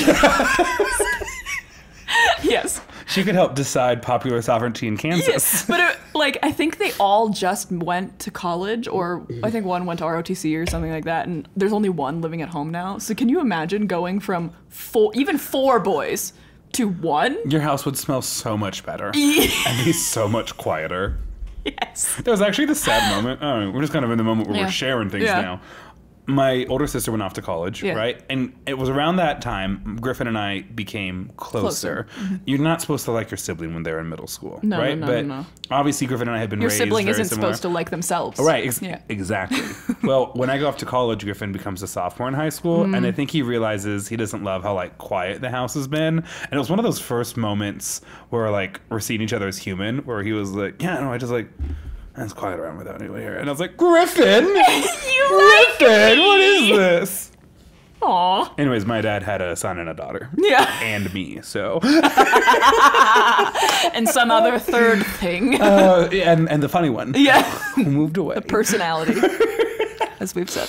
Uh, still single. So, anyways, um, so the night of the raid, uh, Mary and many of their family is up in northern New York at North Elba, waiting for news. While the sons and a handful of the son-in-laws, as well as a couple of other um, abolitionist white men and some newly freed or freed black men, take on Harper's Ferry. They run into it all. Hell yeah. And the raid was initially successful. Sorry, They- heck yeah. Heck yeah. Thank you.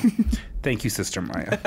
they, uh, the raid was initially successful. They met no resistance entering the town.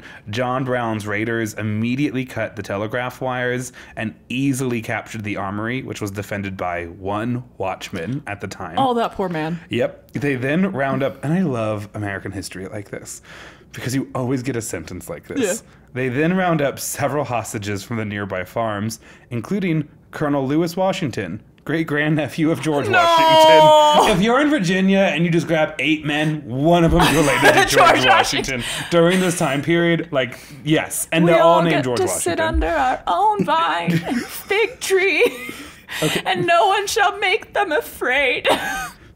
Griffin, it's quiet uptown.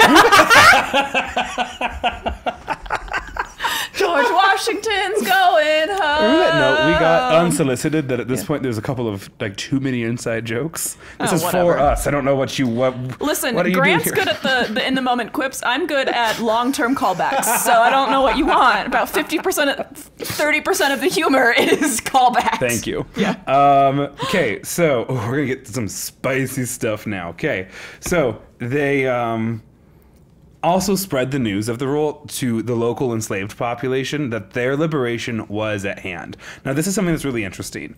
Um, Harper's Ferry sits on a railway line, and so they've taken basically the entire town hostage, Mm-hmm. and by cutting the telegraph wires.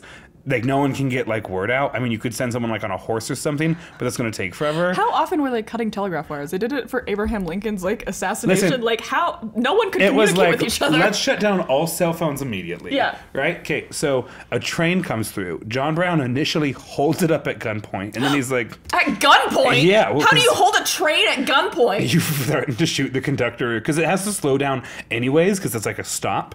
And then you're like, "Surprise! We have guns!" Liam Neeson. I have a certain of skills, and it guess, is yeah. freeing the enslaved. I'm just thinking of like a guy with like a pistol, like, Like, aiming it at. the train would be like, I'm not entirely sure that that wouldn't have been effective either. It has to slow down because it's entering the Yeah, town. yeah, that makes sense. He holds the train up, and then he's like, "Okay, you get out of here." And the train's like, "Thank you so much." immediately stops at the next town, and it's like, "Guys, guys, guys! There's a hostage situation in the town next door." And so they're like.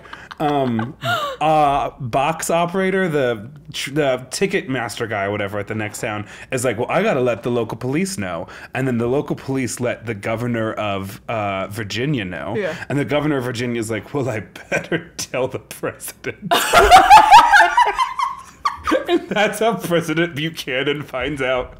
Actually, hold on. No, I'm sorry. I think I got that wrong a little bit. The telegraph operator operates his corporate headquarters in Baltimore, and Baltimore lets the Maryland governor know, who's like, well, somebody wake up President Buchanan. He's very busy being the president everyone forgets when they try to list all the presidents. So real. I forgot that that was, I was like, who Is he the one that has two non repeating terms? No, that's Garfield. Also one that I don't remember. It's all right. Um, Sorry, let me go get my DoorDash You're order. good. I saw him take a photo for a second. I was like, this is terrifying. And then I was like, oh, it's food. It's DoorDash. I DoorDash Subway again, guys.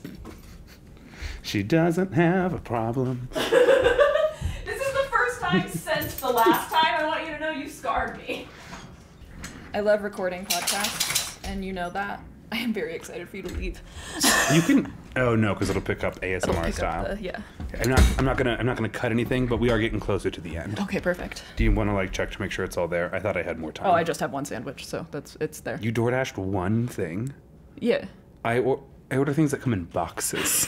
No, I do that when I'm really hungry. well, that's right. I've watched you eat like salmon Yeah. before, just like right next to you. I also- I go, we're having different evenings. I also got like the the big the big one so that I have lunch tomorrow because I'm bad at. I would just eat a big one now. What time do you I- have to wake up? I mean, I do that too. I have such a weird relationship with food because I'm like, who needs 12 inches of a sandwich at 9:30 p.m. when you have to teach the next day? But I'm like, but silly little fun time. this might be saying it too now. Yeah, probably. Sorry, I went to go get my sandwich. Uh, Grant went to go talk to his say man. it. Say it. Don't say it. I'm ashamed. his online dating people. no, we're not. Okay, and we're back. That was a fun little break. I don't know what got cut. Okay, so initially the raid goes really well, and then Oh, Casey's about to take the dogs out. We can wait a second. I do feel bad for the editing you will have to do later. Nah, That's fine. Okay. I usually play with. I have like a, a puzzle that I bought online now, and then I'll I'll play with that because it doesn't take any like. It's like the fidget toy, and I'll Yeah. play with that while I listen to, the, and then I'll stop and be like, "Oh fuck that!" I gotta cut that okay. out. Back to level 137. okay. Say you'll remember me. Okay, T. Uh, so anyway, so things are going really well for him until it's not, Yeah. and it's that starts happening the next morning, um, because everyone now knows about what's happening Yeah. in Harper's Ferry, Yeah. and the Virginia militia shows up, and John Brown's crew kind of puts up a fight. At least one of his sons kills in the sh- is killed in the shootout. Oh, so this is routed. the second son that's now died. In the Second, last... they might even lose a third one Okay. here in the situation. Um, John Brown is wounded, but Mm. um, lives through the experience. The Virginia militia is led by traitor to the country, Robert E. Lee. Oh, boo. And I'm going to stand on the soapbox for a second. Hear me out for a second. Robert E. Lee shows up to put down the rebellion, which is so deliciously ironic. If he wasn't a war criminal, like it would be Yeah. even better. Um, two of Brown's sons are killed in the action, and Brown is captured and then later put on trial. But real quick, Lee was seen as a traitor in his own time. This is not us going back later and like applying like a modern lens on like something and like you have to be in the 1860s to like understand the con. Lee was viewed respect as- my heritage. Exactly. Lee was viewed as a traitor by the people at the time. How many mothers in the North do you think respected Lee as he led the rebellious South in battle after battle that killed thousands of Northern soldiers? If you add up the casualties on both sides of the Civil War, almost half a million Americans died, and a huge percentage of them died because of Lee's orders or while com- like uh, carrying out actions under Yeah. Lee's orders. Boo. He is a traitor to the country and broke the oath he made to the U.S. Constitution because the state of Virginia chose to secede over singularly the issue of slavery. How do we know Lee was viewed as a traitor in his own time? This is glorious. Robert E. Lee, the traitor to the country, had his family home in Northern Virginia. Yeah. Huge, gigantic mansion. Of course. Do you know what that home is today? Oh, no. It's part of Arlington Cemetery because when the Union Army took over Northern Virginia, they immediately captured Lee's home. And under orders of, I believe, Lincoln, buried the dead Union soldiers in the front yard, side yards, backyards, and rose gardens of Lee's home. They wanted to make sure, win or lose, he would never be able to return to that home without being haunted by the ghost of the men his treachery killed. And then, because so many Union soldiers are buried there, it is now part of Arlington Cemetery, and honest to God, not that far away from the tomb of the unknown soldier. He was viewed as a traitor at the time. Yeah. So much so that they buried his victims of his treachery in his yard to ensure he would never be able to return. And good news, he didn't. He was never given back property after the war was done. Also, that is fucking savage as fuck Oh, by Lincoln. right? Lincoln hears it and he's like, bury them right there. Yeah. And they're like, what? Well, what's also super crucial to uh, understand is from Lee's front yard on a clear day, and like with, I mean, a mag- not a magnifying glass, binoculars, Yeah. but not super intense ones, you can see Washington, D.C. Lee's family estate overlooked on the other side of the Potomac River the nation's capital. If you betray the country, you shouldn't be able to get that home yeah. back. And I'm so glad that we made sure future generations understood how we were to view that situation Mm-hmm. by burying Literally making a huge Yeah. cemetery. around, what he did. yeah. We're back to the trial, but it's deeply ironic. One, that Robert E. Lee is called to put down a rebellion in Virginia. Yeah, bullshit. That's really funny. Yeah. Two, um, Lee was viewed as a traitor in his own time. Three, it's actually now in Harper's Ferry, West Virginia, and this is now the Mm. final really interesting thing. When Virginia leaves the Union and secedes Yeah. as part of the Civil War, the state itself exits. West Virginia did not exist at the time. It was just Virginia. Okay. But people in western western Virginia Yeah. on the other side of those mountains were a lot more impoverished, a lot further removed from Richmond, the center of political capital Right. in Virginia. And nowhere near as committed to the cause of slavery as the Virginians were. Mm-hmm. And so West Virginia, the people who lived in Western Virginia, Virginia, yeah. asked the U.S. government, "Hey, could we be our own state and be part of the Union?" Oh, that's hilarious! And we said, "Absolutely, you can." And they, West Virginia seceded from Virginia because Virginia seceded from America. so West Virginia seceded from Virginia to become part of America. I like. West Virginia a lot more right Isn't now. history so Yeah, funny? So crazy.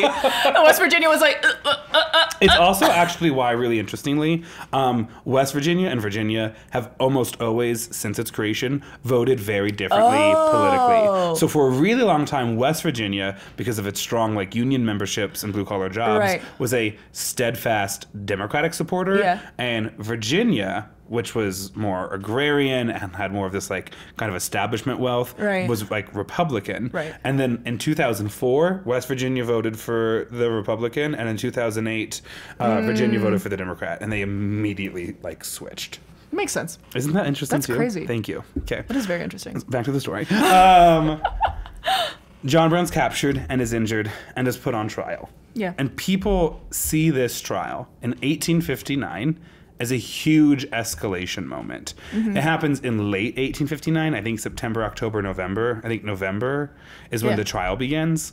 Um, of 1859. I say that because a year later, in November of 1860, Abraham Lincoln will win the presidential election, and two months later, the Civil War has already started. Like we are in closing seconds of Act One Yeah. of like this part of American history. And so America rightfully understands that this is an escalation point. The South basically wants to like pull John Brown limb from limb. Right. While the North,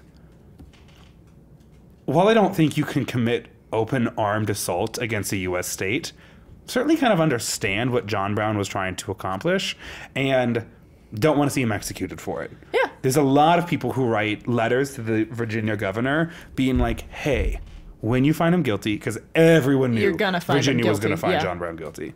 Um, like, when you find him guilty, life in prison. Yeah. Like you don't need to execute him. Yeah. But like that's going to be such an escalation point. But the Virginia governor clearly makes a big deal about it to like show his support for like the Southern cause Oh. and things like that. Boo. He makes basically where the trial's taking place and where the prisoners are being killed held like a huge like military base essentially.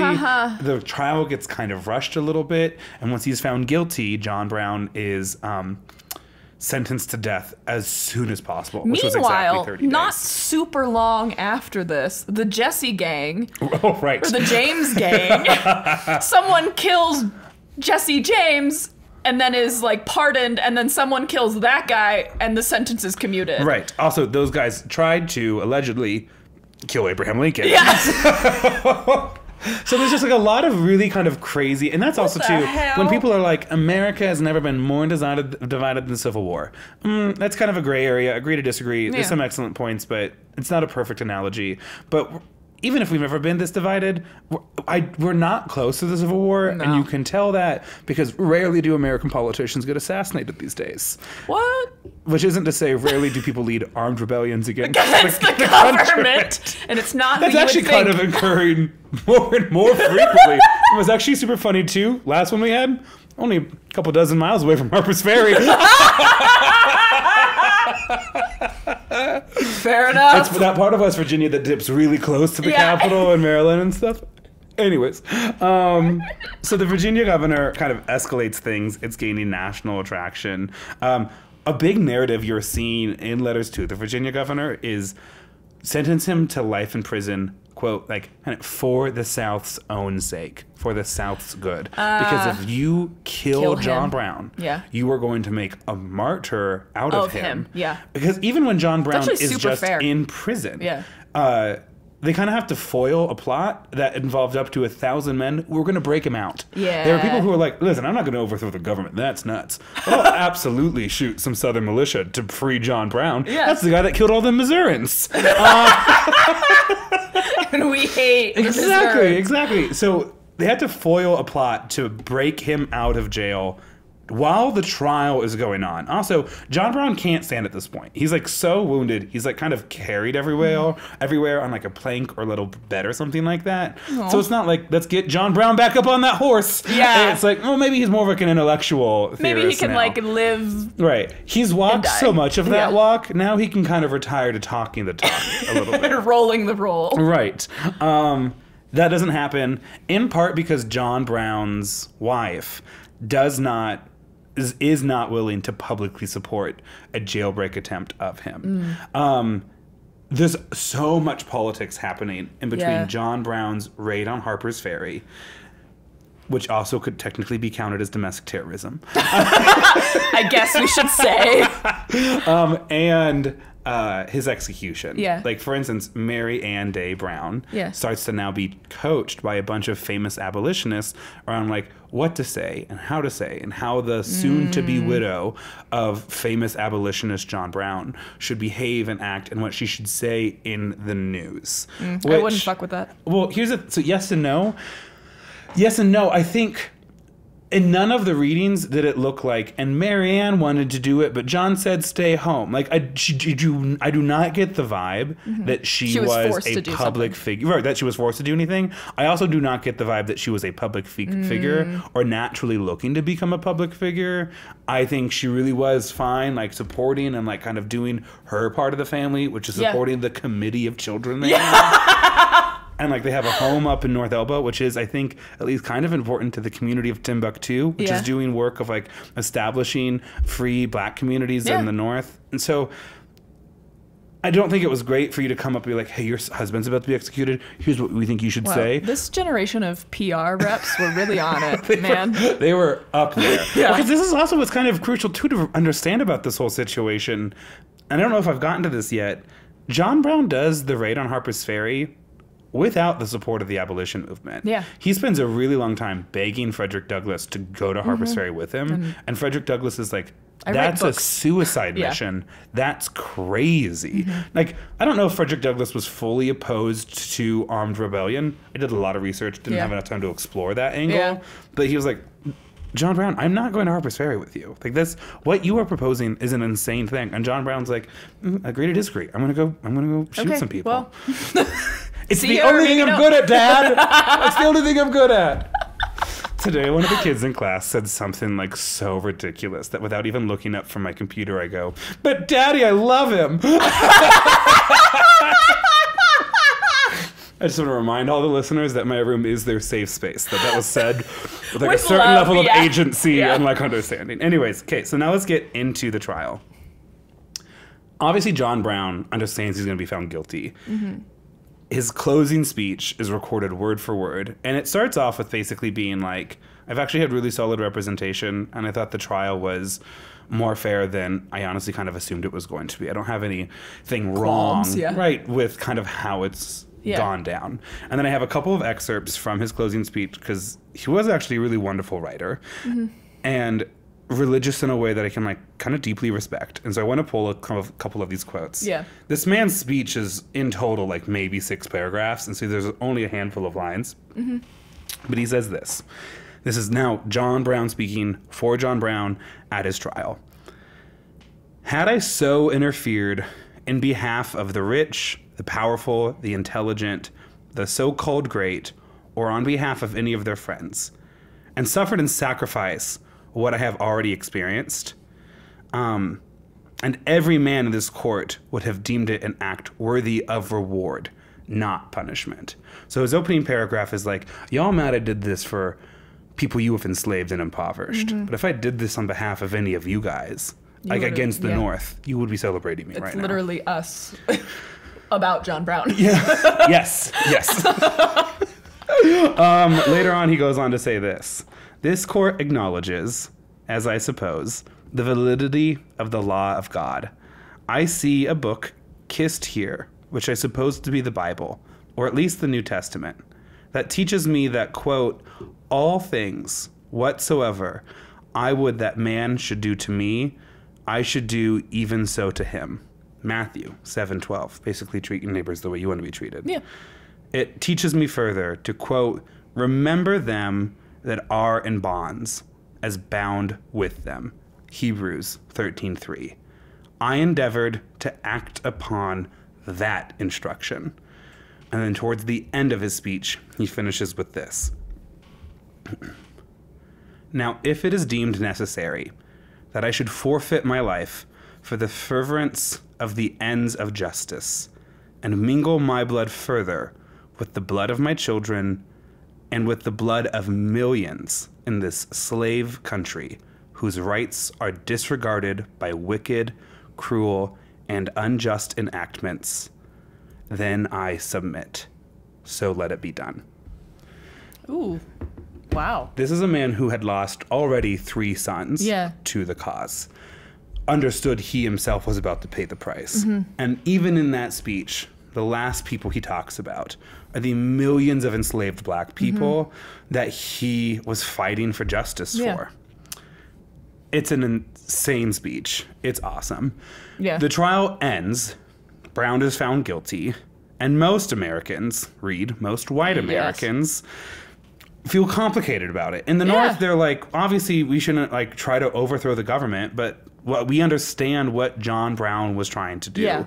Leading abolitionists at the time try to tether themselves close to the spirit of John Brown and distance themselves from, the, Mm-hmm. the actions. actions. of John Yeah. Brown, uh, which is a tough thing to do. And it's all happening as it's clearly escalating, right? Yeah. Like you've had things happening in Kansas. Now you have this thing in Harper's Ferry. Lincoln's going to be uh, there's going to be an attempted assassination on Lincoln Yeah. within a year. He's not even sworn in as president. Yeah. yet. Like things are clearly escalating around the country. Right. On the morning of his, uh, of his execution, before leaving to get onto the wagon, he says, I, John Brown, am now quite certain that the crimes of this land will never be purged away, but with blood. Whew. It's like violence or nothing, baby. A little bit, yes. Also, remember how like the last episode I did, it was on Jumbo the elephant, Yeah. and that was fun. But at one point, I go, I would just love to hear the words of Jumbo right now. Would just love to have a little bit of something. or Dr. another. Dolittle! Yeah, hundred percent. I'm like, what we're really missing right now is the cocaine bear side of the story. So it's really nice to have John Brown, who's poetic. Yeah. And a lot of it's recorded. Yeah. Also, on the Jumbo story, real quick. Yeah. At that debate tournament where the mysterious candy grab Yeah. happened, I was talking to a former student who's now comes back and helps judge Yeah. and stuff. And it's so funny when they make that transition. You know, it's like nine months have passed, right? It's Mm-hmm. like I judged you in a competition less than a year ago. Uh-huh. But sure, now you're in the judge's lounge, and Now and you're we're my friend, I guess. and that's fine. Yeah. Like, it's it's endearing and it's funny, Yeah. and it's part of the growing up process. And that first conversation with them is always so funny. But they were like, Tufts University. And I go, Oh, did you know your mascot is Jumbo the elephant? And they go, Yeah, and we keep his tail in such and such place. And I go, Actually, you keep it in your archives in the library? But yeah, basically. that person was like, he knows everything. A little, I think so. And part of me is because obviously I'm not talking about the podcast or anything, mm-hmm. but there's like the strange things we've learned from this endeavor. Yes. But I love it. Oh, it's so good. I want to go to trivia sometime with you. I feel like we'd I'm actually so good at trivia. Lydia and I tied, which was insane.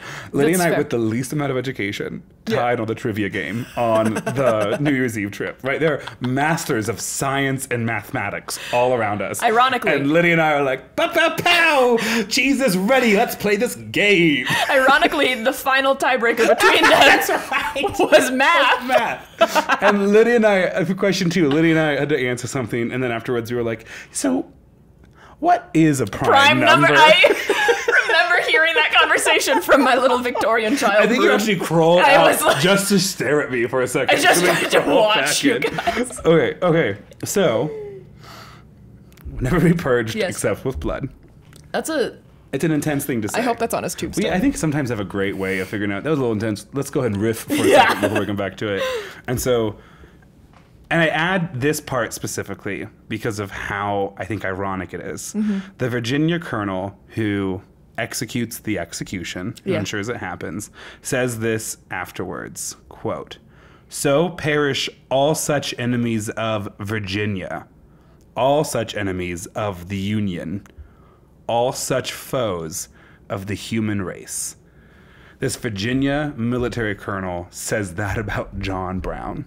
All John Brown, famous of enemy human of the race? Union and of the human race. West Virginia's like, what? Well, no, Western Virginia's like, like- should we be West Yeah. Virginia? Should we get out? hey, listen, this has been weird, right? Um, Imagine just- if they had seceded from Virginia before this had all before all happened. this happened. Yeah. Oh. Well, actually, so here's what's so funny. I'm sorry. No, I love it. The curse of my history education degree. They wouldn't have been allowed to. oh, really? In order for a region that's already part of this estate Yeah. to become its own mm-hmm. state, it needs permission from the federal government Okay. and from the state. oh, so they needed to do something that would like really separate themselves from the state. Right. They they actually if Western Virginia wanted to be its own state, it Yeah. would have had to get permission from Virginia Yeah. to be to do that. And so the reason why they were allowed to do it during the Civil War is because Virginia couldn't be asked for their permission. Wait, that's really funny. It's actually okay. it actually caused a huge issue a hundred years later when someone sued that West Virginia wasn't a state. Why do people sue shit I like don't, that? I don't. I, I, I What do you get? There was like a larger question to it all. I forget what it was exactly, but the question really was like, Oh my God. West Virginia became a state without Virginia's approval. Is it allowed to be a state, and should it lose representation? the Supreme Court was like, "Uh, uh, uh, yeah. Oh, look at right. Yeah, look if you look right here, it's fine. Yes, it can be. Anyway, yeah. next. So, um, the Virginia colonel was only right about one thing. John Brown was definitely an enemy of Virginia. Yes. Um, and then I also, so I want us to take us back to that very opening quote that Mm-hmm. John Brown said while sitting on his casket on Yeah. his way to the noose. This is a beautiful country. I did not have the chance to see it before. Hmm. And in my mind, and when I also say my mind, I also mean the way Showtime's The Good Lord Yes. Bird did it. But I was like, oh, bravo. Stealing that, but giving Yeah. him credit now. He's clearly remarking on like the landscape. yeah. But because his death happened so close to the start of the Civil War, Mm. it allows you to think for a little bit that what John Brown was seeing was like a beautiful country that could exist, Mm. one that he had not yet seen before, and that he, unfortunately himself, would not live to see, but that his wife and the majority of his children would live to see. And I think that's kind of beautiful too. Wow. So now there's three different sections that I call like the legacy moment. Yeah. So the legacy moment part one. In addition to skirmishing with the traitor Robert E. Lee, there were two other really big historical figures at John Brown's execution. Oh my God. Not like involved in some way or like saw him at the train station. Yeah. Who were there the day he was executed. Yeah. The first is uh, Thomas Stonewall Jackson. Nice. Terrible rep for Thomas's because he's like a Yes. famous Confederate general.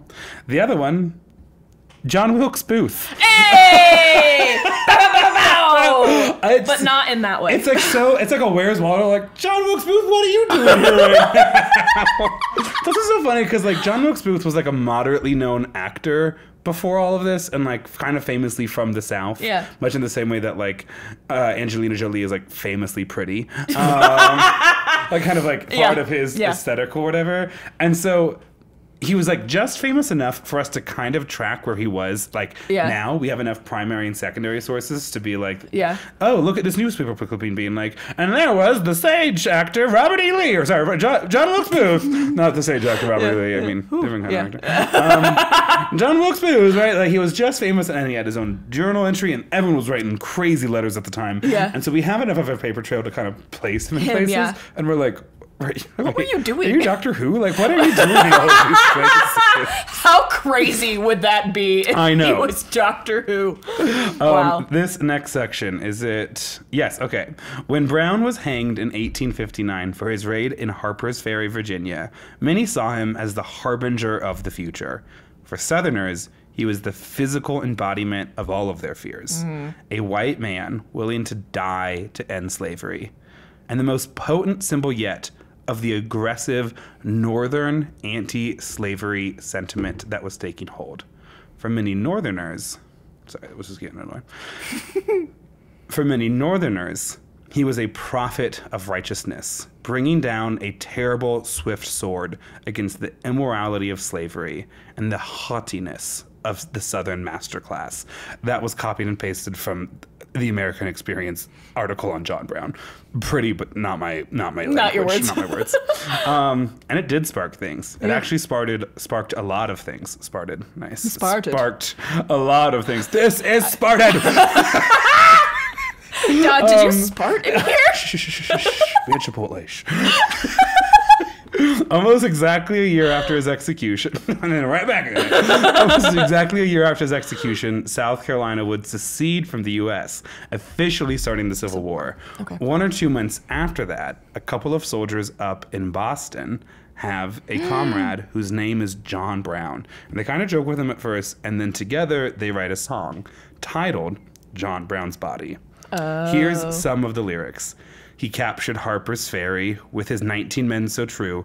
He frightened old Virginia till she trembled through and through. They hanged him for a traitor, they themselves the traitor's crew.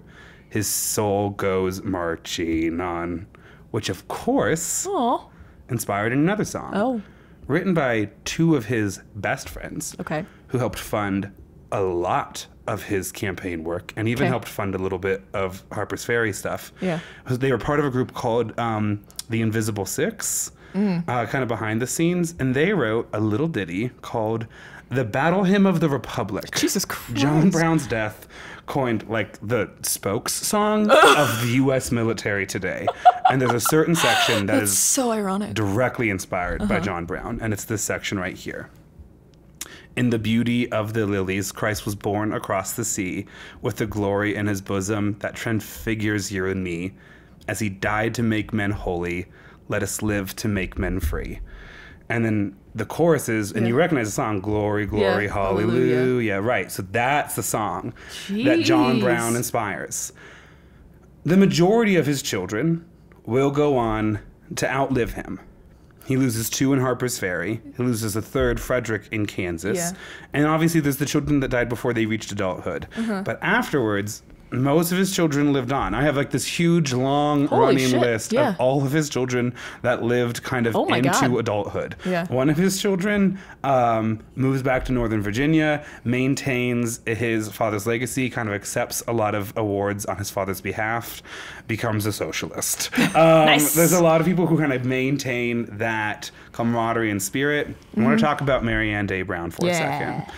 In 1864, Mary, some of her daughters, her son Salmon, and some of like their in-laws or whatever, decide that they are going to move. Decide they're going to move to California. Nice. Abby's uncle had declared it, quote, to be a land of golden opportunity. I think Abby's one of the daughter-in-laws. Mm, okay. So it's like going to go hang out with the in-laws. Um, the land of gold opportunity. Yeah. Okay. Okay. Yeah. Um, Mary and the rest of this crew sold their farms and head west from New York to make their way to California, hoping it would be a fresh start and kind of get them out of John Brown's notoriety. That's fair. Obviously, the community they live in, all about John Brown. uptown. Exactly. In Timbuktu, which is a crazy name to name this place. um, and then there's an article Mm-hmm. that Mary Ann Day Brown and her children were caught by Confederate sympathizers and executed. it's only partially true. Ooh. I love Um, this. That winter, they are in Iowa Yeah. and are discovered by Confederate sympathizers who start to kill some of their animals and actively start to pursue them. And this is what I was able to get. They run away and arrive. What was the name of the fort? They arrive by wagon at the Union Fort of Soda Springs, Idaho, arriving only three hours before their Confederate pursuers were able to catch them. From I, from Soda Springs, Idaho, the U.S. Army personally escorts the Brown family to Nevada, where they are then brought to the town of Red Bluff, California. They are immediately welcomed. Salmon gets a job. They're still because it's still the war. I know. Um, get a job gets a on a with dolphins. Salmon. Trout, actually. Trout, trout, trout, rainbow trout. Rainbow trout. Um, uh, they're still kind of notorious. The Civil War is still going on. They're still kind of being followed by um, Confederate sympathizers. So they move a couple more times before finally settling in Saratoga. And then I love this. So she's there in 1865. They set up a life there. Her, her daughters, her son Sam, and some of their in-laws. And then in 1882, she makes a trip back east. She's honored at by receptions in Chicago and Kansas and visited several places associated with the life of her late husband. While at the house of her son John Jr. in Ohio, the body that had long been lost of her son Watson Oh. is brought to her. And she gets to take it north to North Elba. Because her son Watson was one of the sons that had died in uh, Harper's Ferry. Okay. And No the one body had was found never the body recovered. Well, no one gave them the body. Oh. And I know, at least for the other son, this is actually kind of great. So, two sons die in Harper's Ferry. Yeah. Both of their bodies kind of disappear. Her son Watson's body is brought to her in like 1882, or at least Yeah. the remains of it, at least, and Yeah. she's able to like lay it to rest. The body of the other son is brought to like a local medical college or whatever, and then like the Civil War happens, And then right? the tail is brought to a university. You're actually kept- not super far I off at hate all. that. No, you actually. So you kind of actually love the story. Okay, okay. Because Harper's Ferry, all of this is so in much in North Virginia that it's one of the first places the Union Army invades and like kind of takes control Okay. of during the Civil War. Yeah. The Union Army finds out what this college did to the body of John Brown's children and sets it on fire and never reopens the college. Nice. nice. Like they take, I think, the remains that they can identify. Yeah. And burn it all down. I have And- a great Am I the Asshole relating to this. Shut up, Hal. Oh, you'll see. and so um, she is able to bury her son Watson up in North Elba in 1882, and then I think returns to California. And two years later, in 1884, almost 24, 25 years after her John dies, she passes away and is buried up there. I think of natural causes, surrounded, from what I can tell, by her many children, many of whom lived to be like in the 1912s, 1914s. I think the last one died in oh like my 1916. Yeah, like your great grandparents could have like hung out with the children of John Brown. That's how close American Civil War and the institution of American slavery is. like I know it's really history, crazy. but it's like your great grandparents could have very easily hung out with a person who had active memories of slavery. Yeah. I'm getting off that box. I'm getting off that box And I'm stepping down. because this is truly now the last category. Okay. Final thoughts Okay. couple things. It would be a huge discredit to turn John Brown into this white savior figure. And I hope that's not what I've done Yeah. over the course of this last, uh, Yeah. however long this is hour, two hours. I don't think we're at three. Five. Great. Probably. Um, he was deeply moved by his faith, Yeah. Uh, in his faith and devoted to his cause. But a lot of the work that John Brown did was because of the support of famous black abolitionists at the time who heard him, trusted him, Mm. Yeah. at least in part, and were able to help funnel some resources to him, right? I Right. think he want he, he was part of the cause. Don't make him out to be this other thing, but he sacrificed quite a bit, three sons and then himself for this cause, and kind of lived entirely in poverty, not because of his abolitionist stuff, but Because he was focused on it. yeah, yeah, yeah, yeah. Um, additionally, though, basically after his death, for more than a century, it's really only black Americans who are celebrating John Brown. In white classrooms, textbooks, and in history, John Brown is viewed in the way that we're supposed to view the Confederacy. He was a traitor who assaulted the U.S. Army and tried to kind of do things on his own and that wasn't good. Like John Brown, at least when I was learning about him in school, wasn't treated kindly, you know? Yeah. And I get it. Like he did terrorism. Uh, and like without trial, did execute some Yes, Americans. yeah. And inalienable rights means that you don't get to be judge, jury, and executioner. For someone who was very adamant about not cursing, he did commit a lot of sin. the way the good Lord Bird explained it, and I don't know if this was pulled because the Good Lord Bird is a show based off a book, and I don't know how much that author did re- did research on it. But Yeah. the, here's how the show basically justified it. Mm. John Brown thought lying was not okay, yeah. but it was okay to lie to people who had rejected Christ um, and were like now willingly lying to you. Does that make sense? Yeah. That like if you were dancing with the devil, you can't be the only one playing fair, and so that's why he had no problems lying and executing a lot of them. But also, oh, I mean, what a hollering good time. sure. So what he does do is domestic terrorism, Mm-hmm. and he disregards the rights of the people he murdered. Yeah. He drags his family into that business. He his most infamous act, Harper's Ferry, he does without the support or backing of many of the black abolitionist leaders that he like sought counsel and support from. Yeah. So I want to make sure like that complicated aspect of his Is legacy clear, is yeah. clear.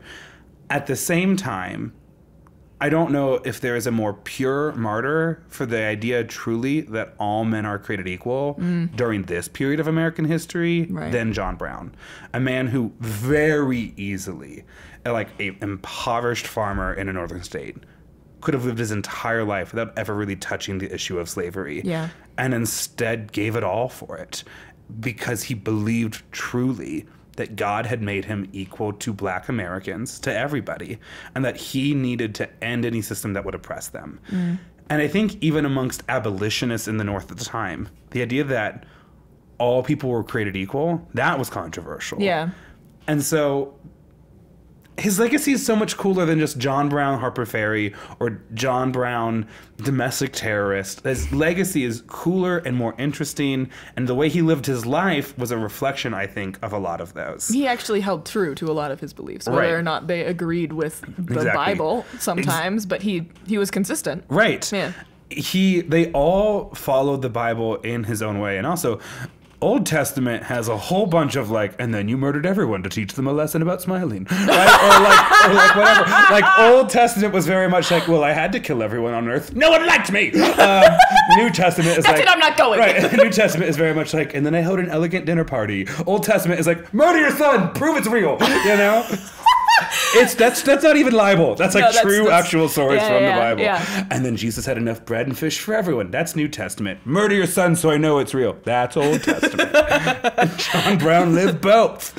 Um, last thing I'll say, it wasn't until the 1970s that like kind of mainstream attitudes about John Brown began to change when his legacy became fully understood, not just within the communities of Black America, but like in America at large. Right. And so when you texted me, this upcoming theme Law is and law and disorder. disorder. I was like, yes, yes, yes, yes, yes, yes, yes, yes. I think you knew your story before I fully Oh, grasped probably mine. did. And it was the thing too. I hadn't even really checked that John Brown was on my list, but it was one of those moments that when you told it, it was like Done. like a John Brown bullet through my head. I was like, we're going to do John Brown. That's what we're going to do. And so that's the life legacy of John Brown. That's so fun. Thank you. Thank you for that opportunity to say it. Um, two episodes ago, we did Welcome to New York Part 3 here and there, which was just a series Just of silly little stories. of just ridiculous shit. Oh, you know what? I, that actually that reminded me of something too. and then this one was like, I had three snow days to compile a book report on this. Here we go. Um, before we sign off on this episode, I realized I have a gift for you, and it's not really a gift. You- How? You, do know what it is. I do. Yeah. We'll find out. You're going to get my honest to God reaction. oh my God, yes, I do. And actually, because I hadn't heard anything about it, I just kind of assumed so there's a that reason. it was done. So we, got, I'm saving this also for the end for a couple reasons. But we got these jerseys, and they're from a company called Fan Crazes, not Fan Craze, and it was like an influencer thing. Um, but I know So I'm just appreciating all the detail right now. there's so much detail on it, and it's like actually it's it's pretty great. Oh my god, we're gonna have to like get into like a winter sport or something. I know. hockey game. Hockey game. Perfect. Hockey game. Done. Um, Talk about so the deal so was kind of that we would post like some videos and pictures of us in the thing, and then we would in the jerseys, and then we would get uh, like a discount code for our listeners and stuff. But upon further examination, I'm not entirely sure this company is legit. So As in like it's gonna steal their credit card information. as in that they might never get whatever product. I think they prioritized us because we have like a significant like they reached out to my personal email, which is not connected to Well I Laughed, and then I was kind of like, "Do you mean Well I Laughed?" And they were like, "Yes, Thank you. Yep. thank yes, you, I yes, do. we absolutely did." And I I have a story wasn't to tell you off air. I wasn't gonna do it if they asked for any credit card information, but they didn't, and so that's how we have these jerseys. They sent them once, and they went to some ambiguous zip code in South Carolina, and then I oh. emailed them and was like, "That's that zip Listen, code." Listen, you really have us out on a limb there. Was like, "That zip code was nowhere in any of the information I gave you. What the hell?" And they were like, "So sorry, we'll send it. We'll send." Like we'll re- it was an error or something, Let's and have then new ones. Yeah, so anyway, um, we're not going to Yeah. give them a discount code because I'm not entirely sure that I think the actual company is Fan Craze. And this one is Fan Crazes. Mm. And so they're emailing me a lot and I might email them back and be like, give it to me real. but anyway, they're they're really cute if you're Are not on- emailing your personal? Yeah. You just block them? I probably could. Yeah. Uh, but they haven't. Grant picked my number because I was nervous. You're number Um, one. Yeah. and then it says, "Well, I laughed on the front. It has like our logo on the the sleeves, and then our our last names on the back, and they're in uh, navy and gold. Yes. It's not quite well I laughed colors, but it's very close. It's it's as close as I could yeah, get. yeah, yeah, yeah. No, I love it. So now we have them. Now we have them.